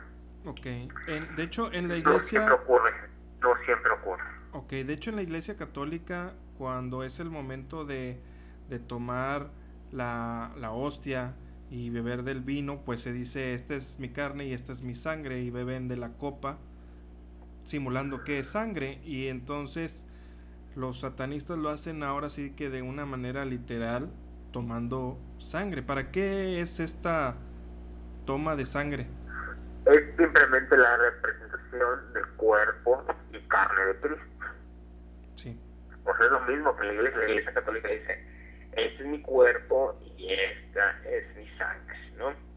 Este, hay que además, si se sigue una misa ortodoxa dentro de la secta, lo que busca es tener la representación, es hacer una misa igual, pero este, no generando el pacto con el Cristo, sino con el demonio, en donde uno representa que se está comiendo a Cristo. En el caso de la iglesia, sí se come uno a Cristo, ¿no? Pero como por salvación. En este caso no se come frente al demonio a Cristo como reverencia. Ok. Perfecto. Y es decir, es decir, en la iglesia uno dice, este, toma mi cuerpo, tomar y beber, todos de él, ¿verdad? Que dicen porque ese es mi cuerpo que será entregado por vosotros. Hacer es, mi, esto en conmemoración mía, es decir, dice Dios, que, o sea, que representen siempre eso, que es un pacto que se hace, que él convino en donde este, quien beba de su sangre vivirá vida eterna, ¿no? Ese es el convenio, ese es el pacto. Yo lo hago y tú me estás ofreciendo eso, yo lo voy a ver hasta que en tu presencia. En este caso, el Pablo frente al demonio dice, me como a Cristo y lo que representa. Porque para mí no es Él quien me guía, sino tú los ves. Pero, o sea, ajá, pero aguas en esto. O sea, uno o sea, un satanista no es alguien que no cree en, en, Dios Santísimo, en la eternidad. Para que tú seas satánico, para que tú estés dentro de una eh, secta satánica real, tienes que entender quiénes son esas fuerzas saber que existe y saber que uno depende de ellas al final de cuentas. Ok, sí, de hecho creo que... Es alguien te dice, alguien te dice, no, yo soy satánico y no creo en Dios y que, y que esto y que el otro, pues es falso, o sea, tu, tu filosofía es falsa, porque estás claro. lo, lo, lo, o sea, es falso. Sí, pues vamos a hablar de que este, existe Dios o existe el bien y la contraparte pues es el mal, ¿no? De hecho, creo que creo que la Iglesia católica no existiría, bueno, existe desde hace muchos tiempos, pero la Iglesia satánica no existiría si la Iglesia católica no hubiera existido, porque está como su contraparte, ¿no? Lo que pasa es que al igual que en la propia Iglesia Católica existió el, el protestantismo, ¿verdad? Con, con Lutero, en donde él dice, pues sí, yo sí creo en esto, pero así, así como hacen las cosas no, no me parece correcto. Igual, acá también no crean, acá también hay grupos revolucionarios, ¿no? En donde crean sus propios grupos sectarios y crean dogmas, pero siguiendo en principio lo que es la el conocimiento, el reconocimiento, es decir, el reconocimiento es decir, identificas que aunque te caiga mal, él es tu presidente, ¿no? Claro. Que haya sido como haya sido, él es tu presidente, lo reconoces, ah, pero no estás de acuerdo en lo que es, en lo que te presenta, en lo que hace su programa, entonces tú actúas de una manera distinta. Así es exactamente esto mismo. Y por supuesto, recordemos, recordemos, fíjate, eh, que la iglesia tiene todas las de ganas, porque por ejemplo, lo negro, lo físico, no existe. El demonio está en un lugar oscuro, en un lugar oculto. En física, por ejemplo, lo que se estudia es la luz, no la oscuridad, en óptica, ¿estás de acuerdo? Sí. Eh, el, negro, por ejemplo, pues no es un color, es la ausencia de aquellos colores. Y eh, esto lo platico porque, en efecto, sin la interpretación que la iglesia le ha dado a la, a la, a la identidad del demonio, este no existiera aunque no por eso lo debe desaparecer. Claro. Imagínate tú, imagínate tú, que este, o sea, el hecho de que tampoco tú hayas tenido presencia de un milagro, el hecho de que tú hayas tenido presencia de un espanto, de un fantasma, que no conozcas a nadie que haya estado en la brujería, no quiere decir que no exista. Simplemente tú no has sido elegido para conocerlo. O sea, tu mente, tu capacidad, no requiere de ese tipo de manifestaciones, ¿me explico? Sí. Eso no lo hace desaparecer. Okay. Imagínate tú que mm, es como cuando uno va a una investigación paranormal y llevas este, cámaras, micrófonos y llevas mucha gente. Esa realidad, lo que ocurre ahí, ocurrirá exclusivamente para los este, asistentes el, el, las cámaras, los audios simplemente servirán para mostrarles a un tercero lo que tú supones que existe. Sí. ¿No? Y que es probable que tomes esa o es probable que no. Pero el hecho de que no la hayas tomado tampoco sigue queriendo decir que no existe. Imagínate que tú tomas, o sea, tú tal vez escuchas la noticia hoy te das cuenta cuántos accidentes hubo. ¿No? Y si tú sales en la mañana, agarras tu troca, tú agarras tu camioneta con tu cámara y voy a grabar un accidente, y, y no porque no haya ocurrido, no quiere decir que no existe. Sí, o sea, es decir, ¿cuántos que han tomado la cámara de video han salido y han regresado y grabaron un accidente en el momento justo? ¿Cuántos? Son pocos, eso es fortuito. Pero si no lo grabas no quiere decir que no existe es, por ejemplo, mm, eh, tú crees, tú has visto un millón de dólares juntos. No, nunca. Y por eso no existe. No, pues sí, sí, sí existe, claro. Sí existe, no, es que a ti no te ha tocado por diferentes situaciones, desde lo justo digo, no sé quién lo tendría, ¿verdad?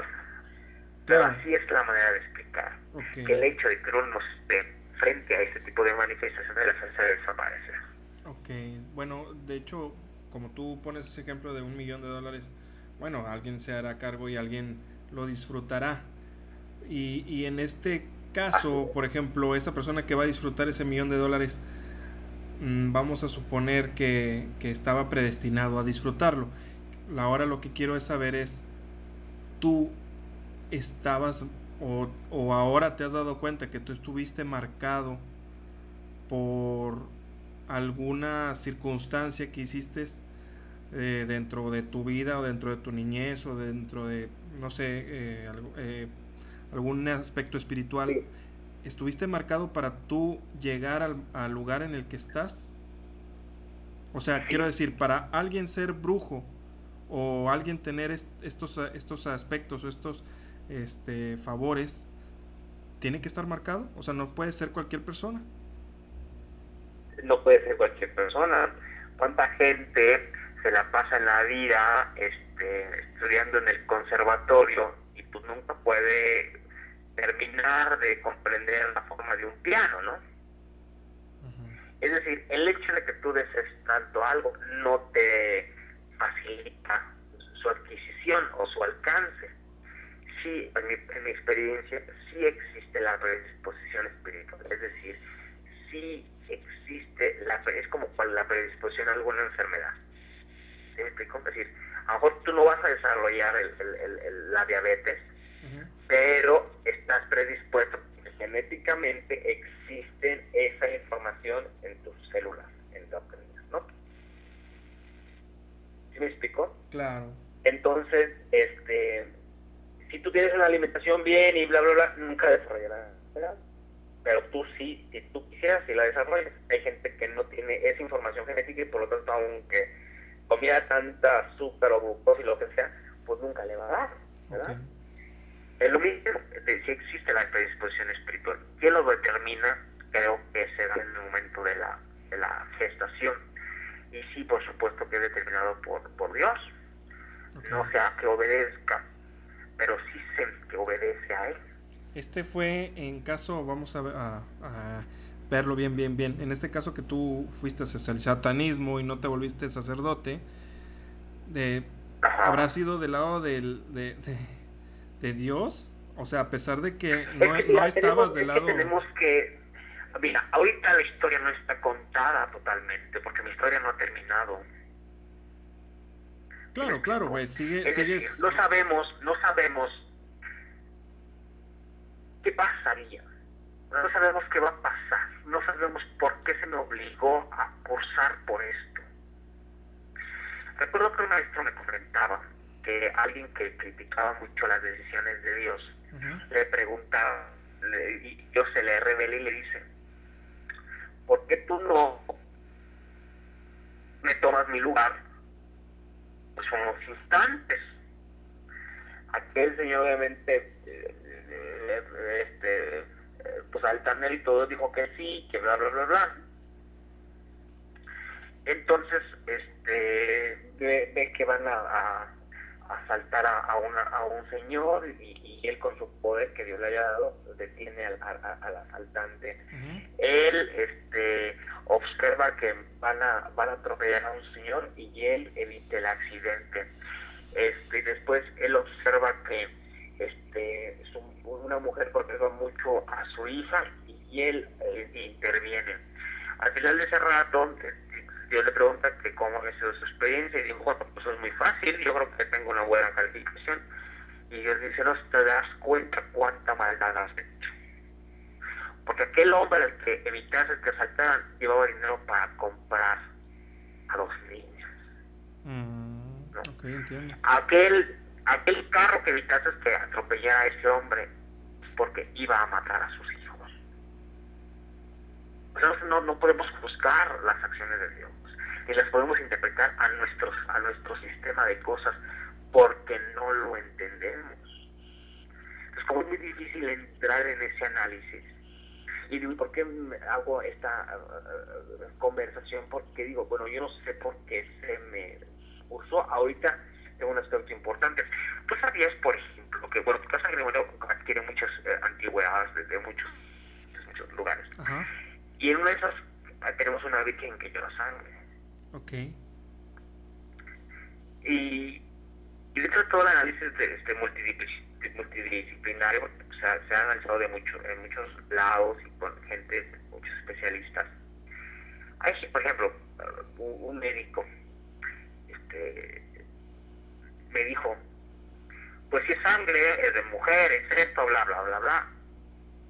Y él sigue sin creer que sea sangre. Dijo, si es sangre, pero no sé cómo llegó ahí. Existe un mecanismo dentro de la figura que probablemente haga brotar la sangre, porque la, la, Virgen ya ha sido grabada en el momento en que llora, por muchas televisiones. Entonces debe existir un mecanismo, entonces ya se perforó la, la Virgen, hicieron muchas cosas. Además es un plástico, es impermeable, es totalmente, este, no tiene poros, ¿no? Eh, o sea, no hay, no hay forma de reproducir el fenómeno. Pero a veces la información que uno posee es lo que nos abre la mente a más posibilidades o nos la cierra a esas posibilidades. ¿Sí me explico?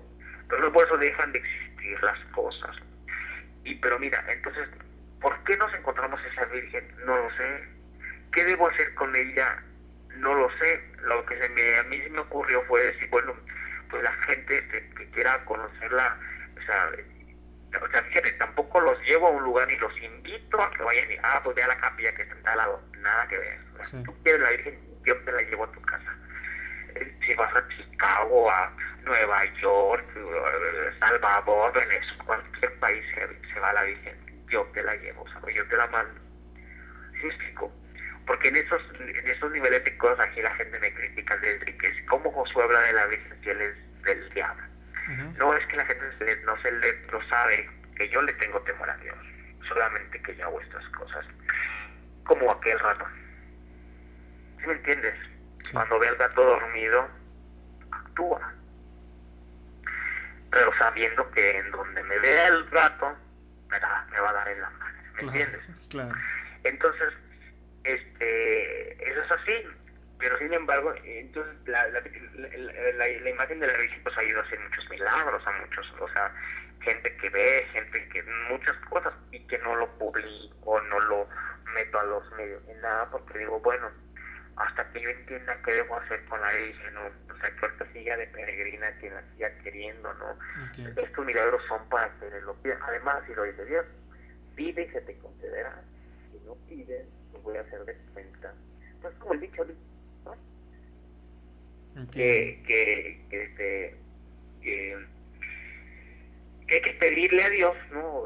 Se me fue la idea, pero el, el, el, dicho muy común en, en, pues en nuestra sociedad habla sobre eso, sobre este okay. pídele a Dios y Dios te va a proveer, ¿no? O sea, Dios te va a proveer, si no le, si, no le a quien no habla, Dios no lo oye.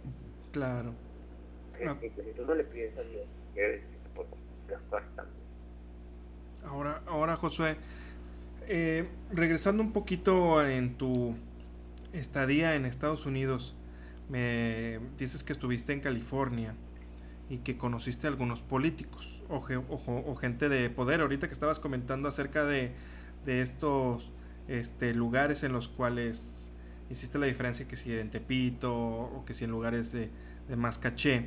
Este, yo sé que, que allá en California se encuentra el centro ritual de la élite que se llama el Bohemian Groove, en el cual se encuentra el gran búho que antes era representado como un toro, el cual llamaban Moloch.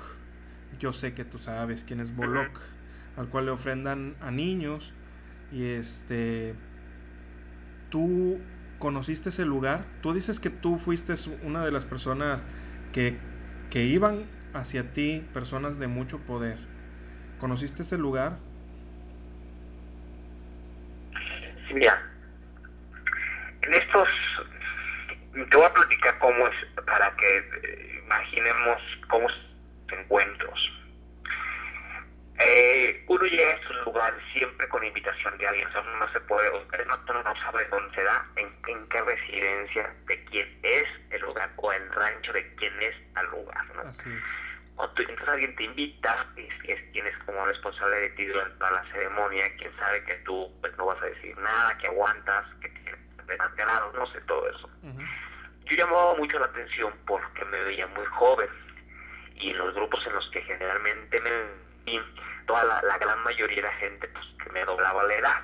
Claro. Ese era el así por lo cual yo llamaba tanto la atención entre estas gentes y este pues mi desenvolvimiento y mil cosas y me permitió ver muchas muchas cosas y estar eh, estuve en lugares y estuve y no pinté lugares que tal vez quise por, por, por son muy elitistas es decir pues, tú o sea es como querer entrar a un grupo pro nazi o sea ¿sí me entiendes? sí aunque tengas buenísimos amigos y tengas toda la lana del mundo, pues no puedes porque no estás cumpliendo con la raza, que es lo principal, lo primerito.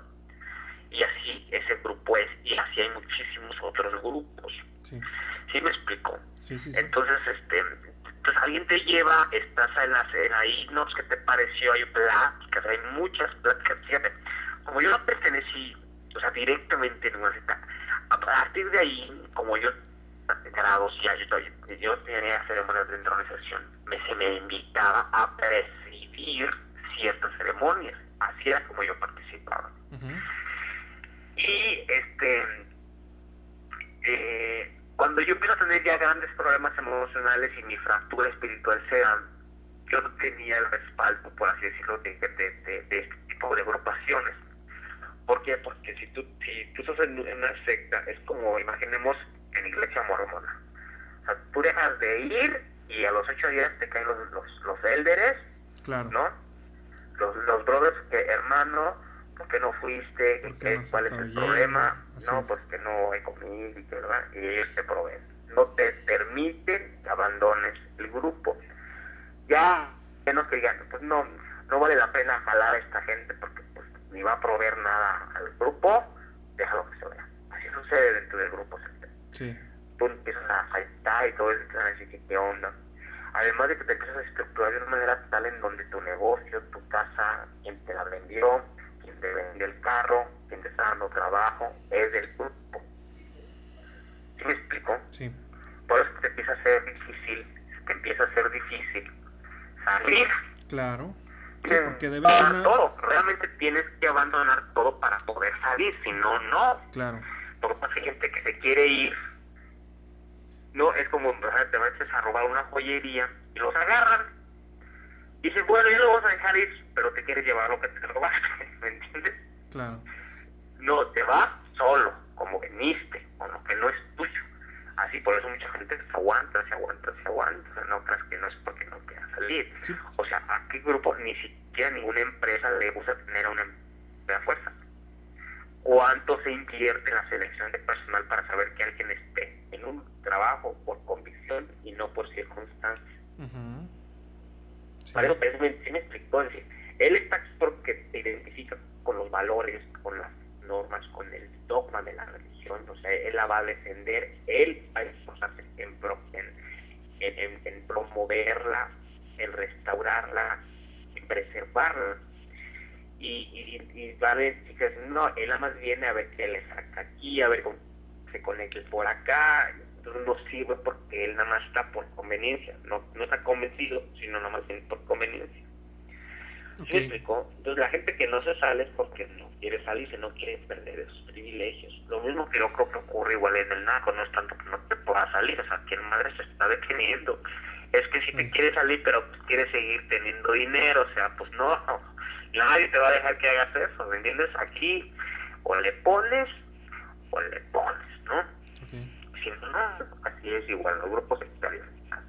O, o, aporta, porque además el grupo sectario empieza a aportar, se empieza a ganar ciertos niveles, ciertos cargos que empieza a aportar. Es decir, una gran diferencia eh, importante, por ejemplo, con, con, la religión católica, que la religión católica, o por ejemplo con la política este, si tú eres diputado local, federal, pues es porque vas a ganar.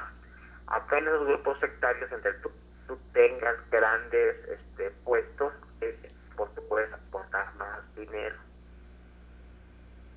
Sí, ok.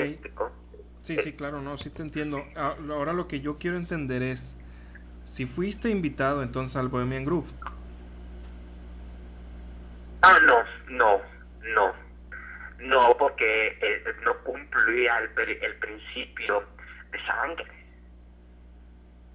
Okay, Es decir, eh, es como te decía, te ponía el ejemplo de los nazis, o sea, ¿cómo quiero yo ser un skinhead, un cabeza rapada, sin ni, sin ni, eh, sin ni alemán?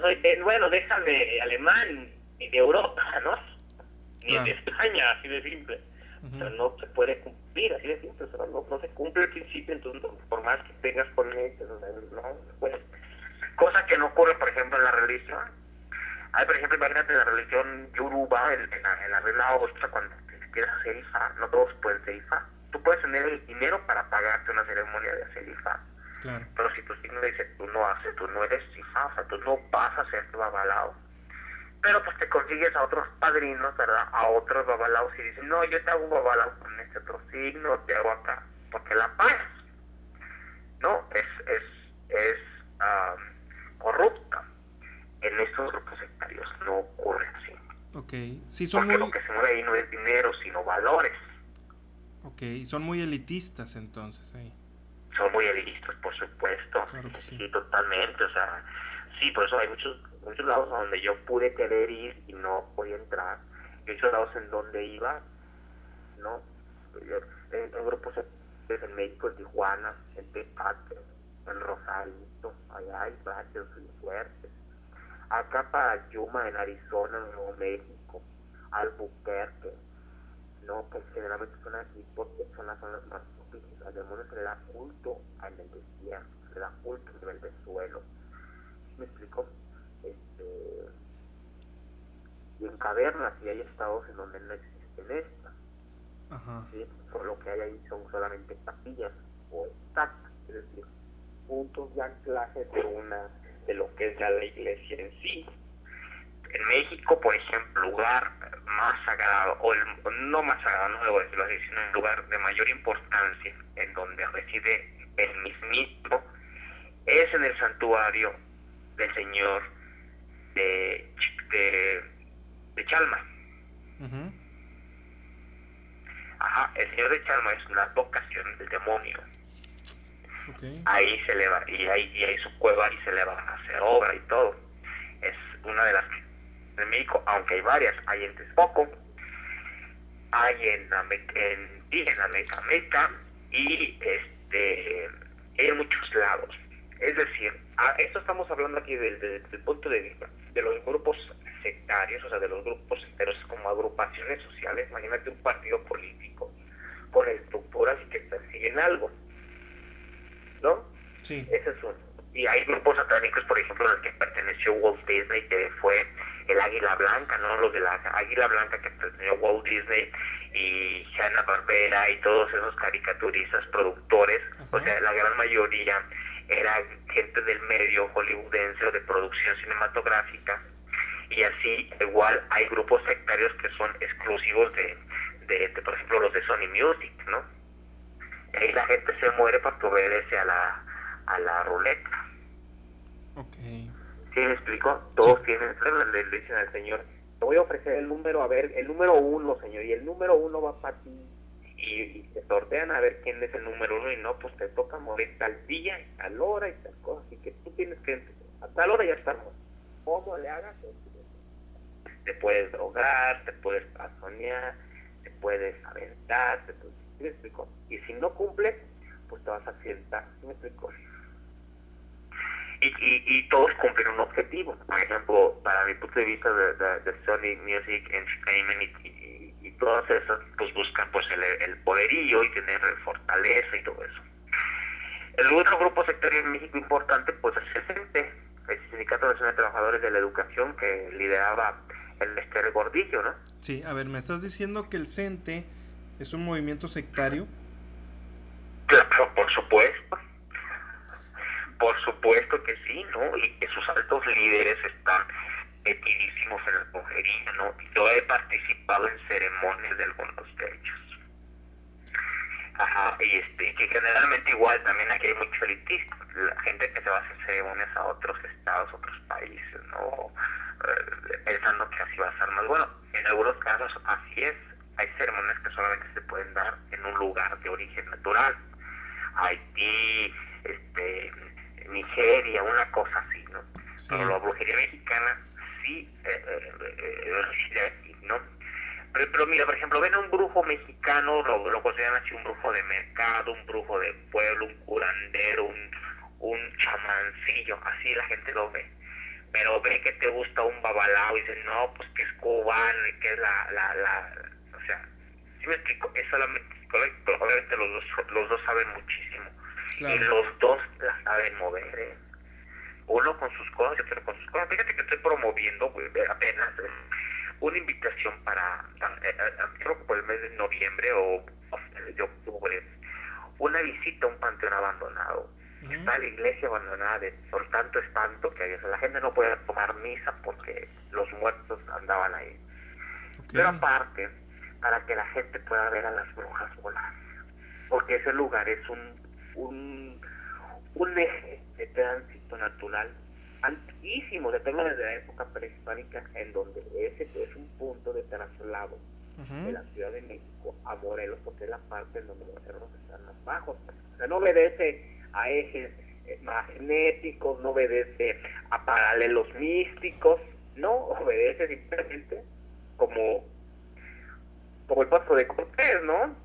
Que no es que le gustó a Cortés, sino que es como esa es la montaña más bajita ahí, pues nos va a tomar menos tiempo cruzarla, ¿no? O sea, a eso obedece. Pero es lo que yo quiero, o sea, que la gente vea y se dé cuenta que esto existe y que son maestros que sí permanecen ocultos, que no pertenecen a sectas, que no pertenecen a lo que que muy poco entienden de lo que es ser un líder y que les mueve y que les diga vamos a entrar en esto o tal otro ellos solamente son herederos de un conocimiento de una tradición oral y que muchos como no tienen descendencia se pierden por eso muchos de mis recursos los aplico a esto, a estar viajando, conociendo ese tipo de gente que me platique y que me deje conocer lo que hace, su tipo de brujería, ¿no? Claro.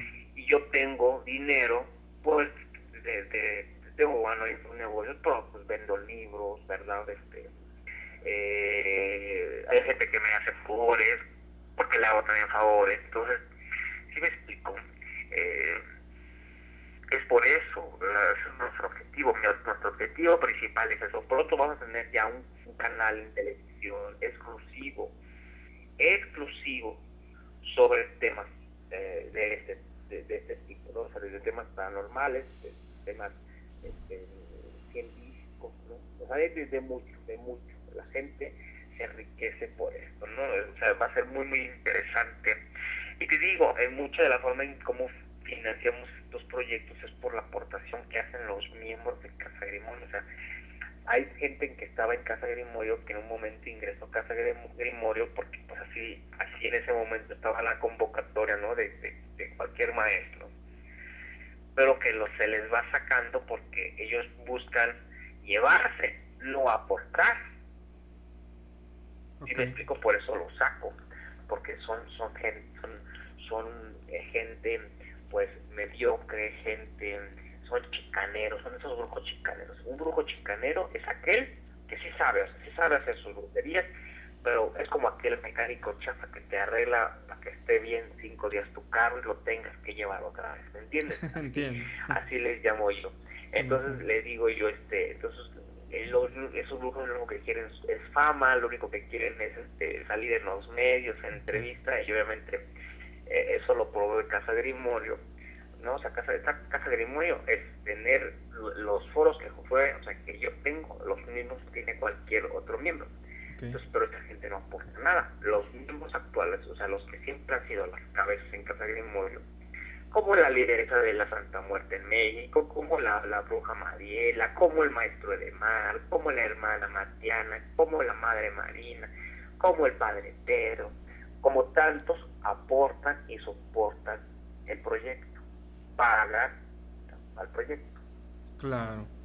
Bueno, eh, mi querido Josué, lo que quería era nada más hacer una aclaración acerca de lo que dijiste del CENTE, porque si hay un libro del escritor José Gil Olmos que se llama Los Brujos del Poder, y en el cual ahí viene la investigación de, de José Gil, que realizó de que el Bester Gordillo tuvo que viajar hacia África que para que le hicieran un, un fuerte ritual que tenía que ver con un león y sangre de león y que se tuviera que poner su piel para que no la molestaran y pudiera seguir en, en el sindicato, ¿no?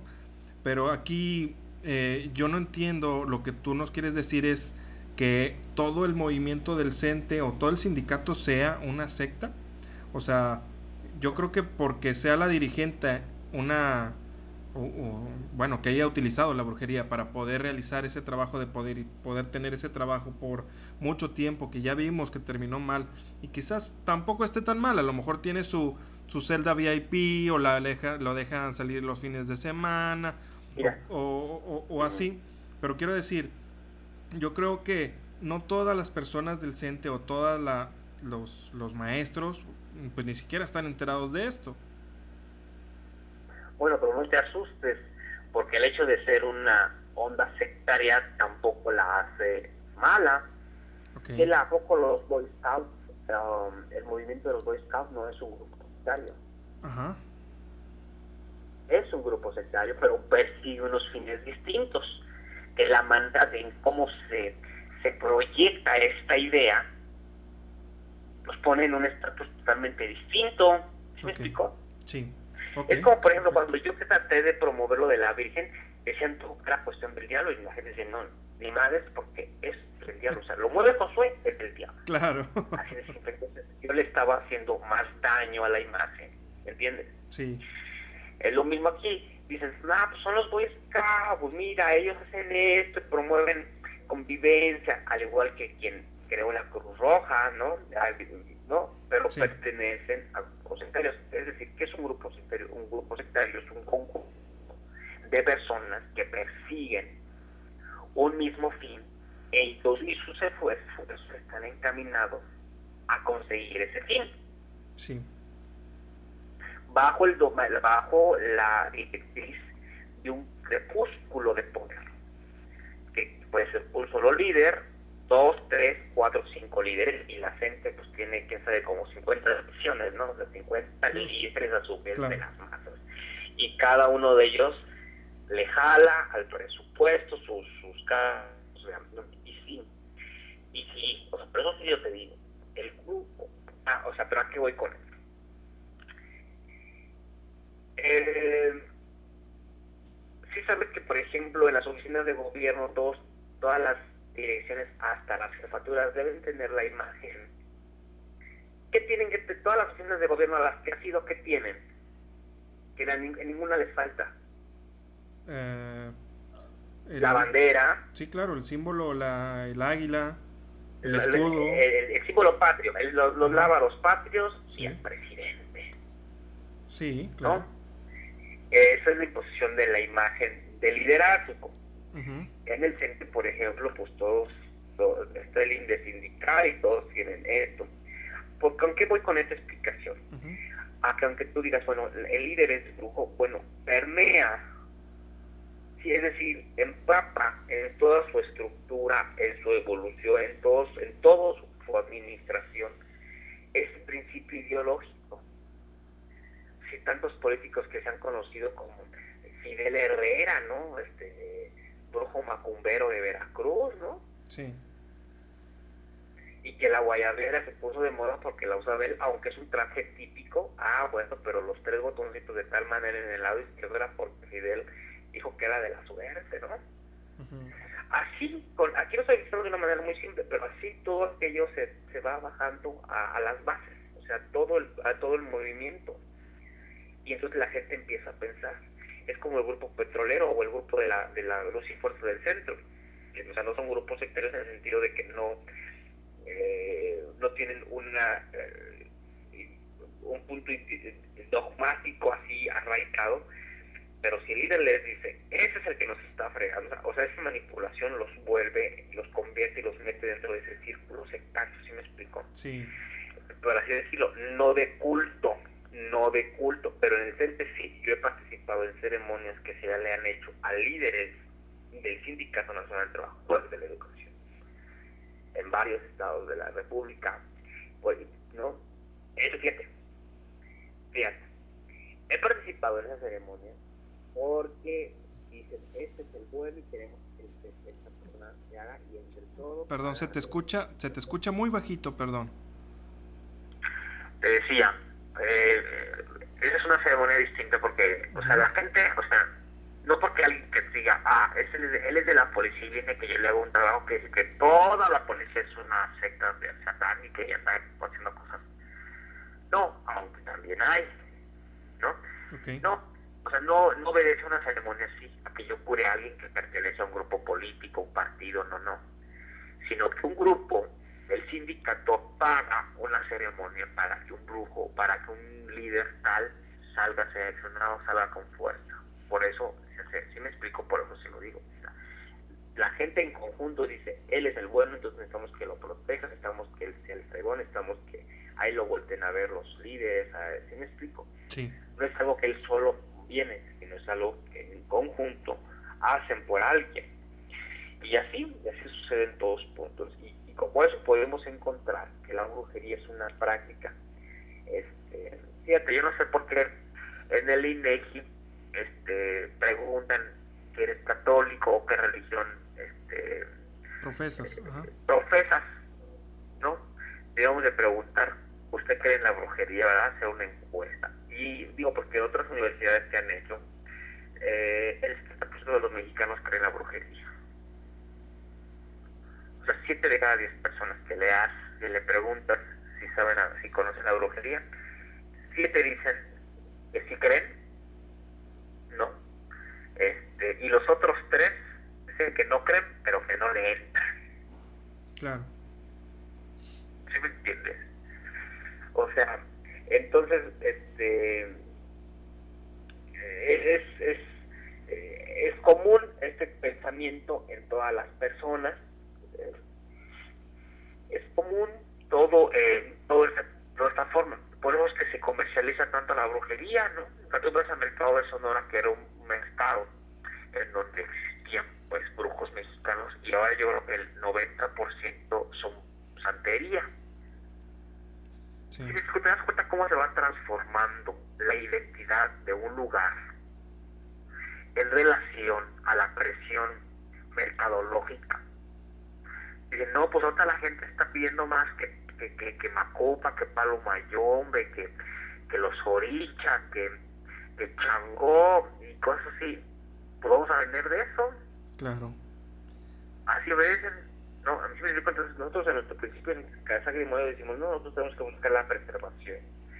Y nosotros, aunque tenemos una boutique, una tienda que vende productos esotéricos, legítimos, este, nuestro gran y nuestro gran valor lo da las publicaciones que hacemos. Nuevamente ya saldrá muy pronto nuevamente la revista Grimorium Maleficarum, que es pues una revista que habla sobre las ciencias sobre las artes oscuras y hablamos de santería, paleros, porque tenemos, acá en Grimorio no más es de brujos mexicanos, hay, hay adoradores del demonio, o sea, hay adoradores de la Santa Muerte, hay adoradores del Niño Fidencio, hay espiritistas, hay paleros, hay santeros, ¿no?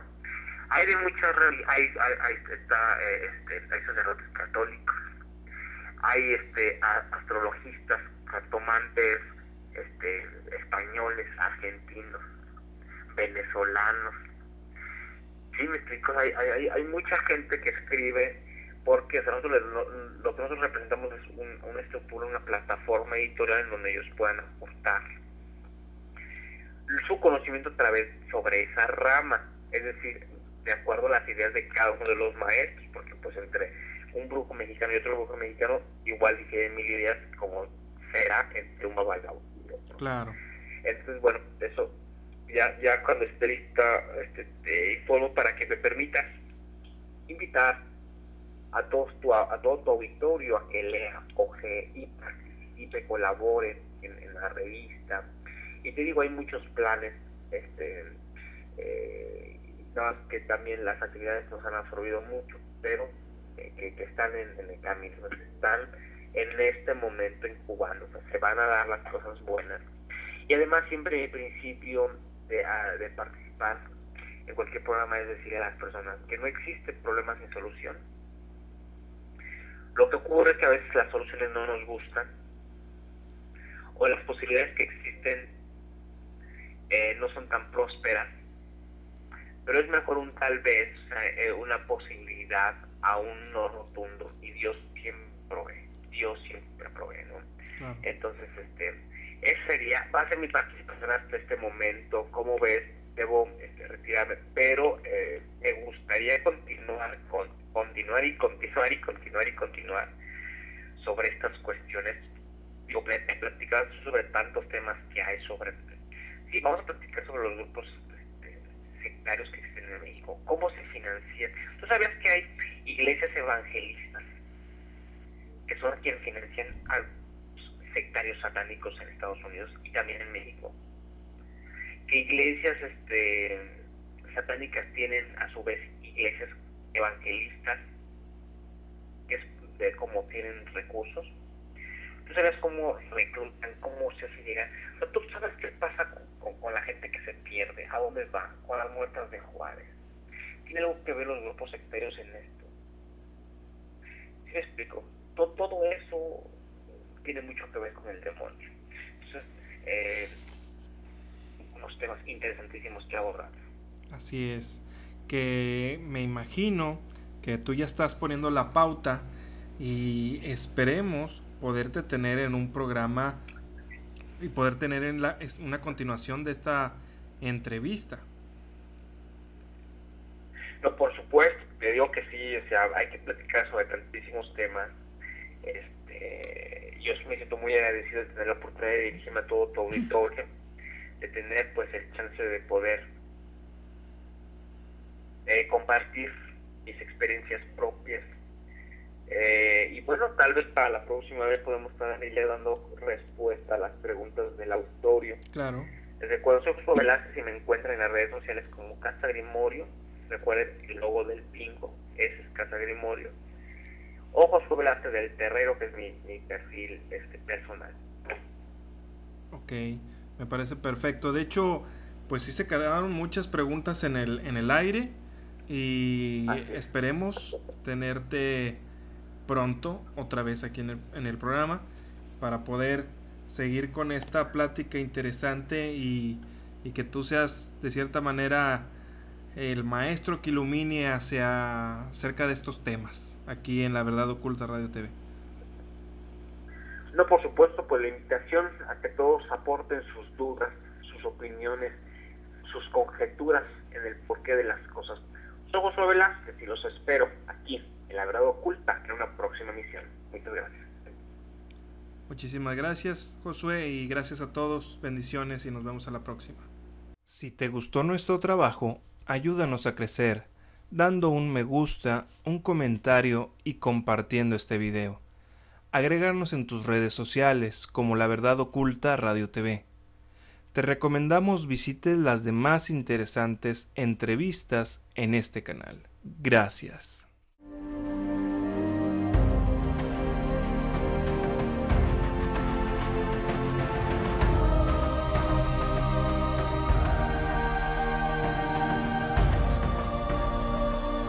Sin embargo, la caída de ceniza puede abarcar incluso todo el planeta.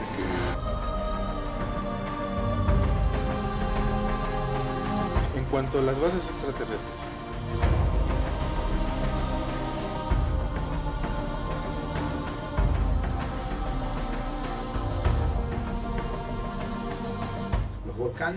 Son válvulas de escape de esa energía.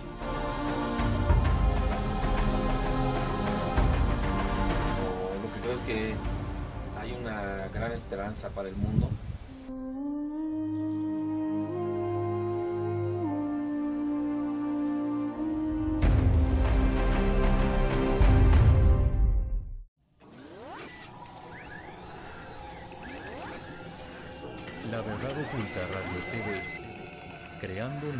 conciencia para la nueva humanidad.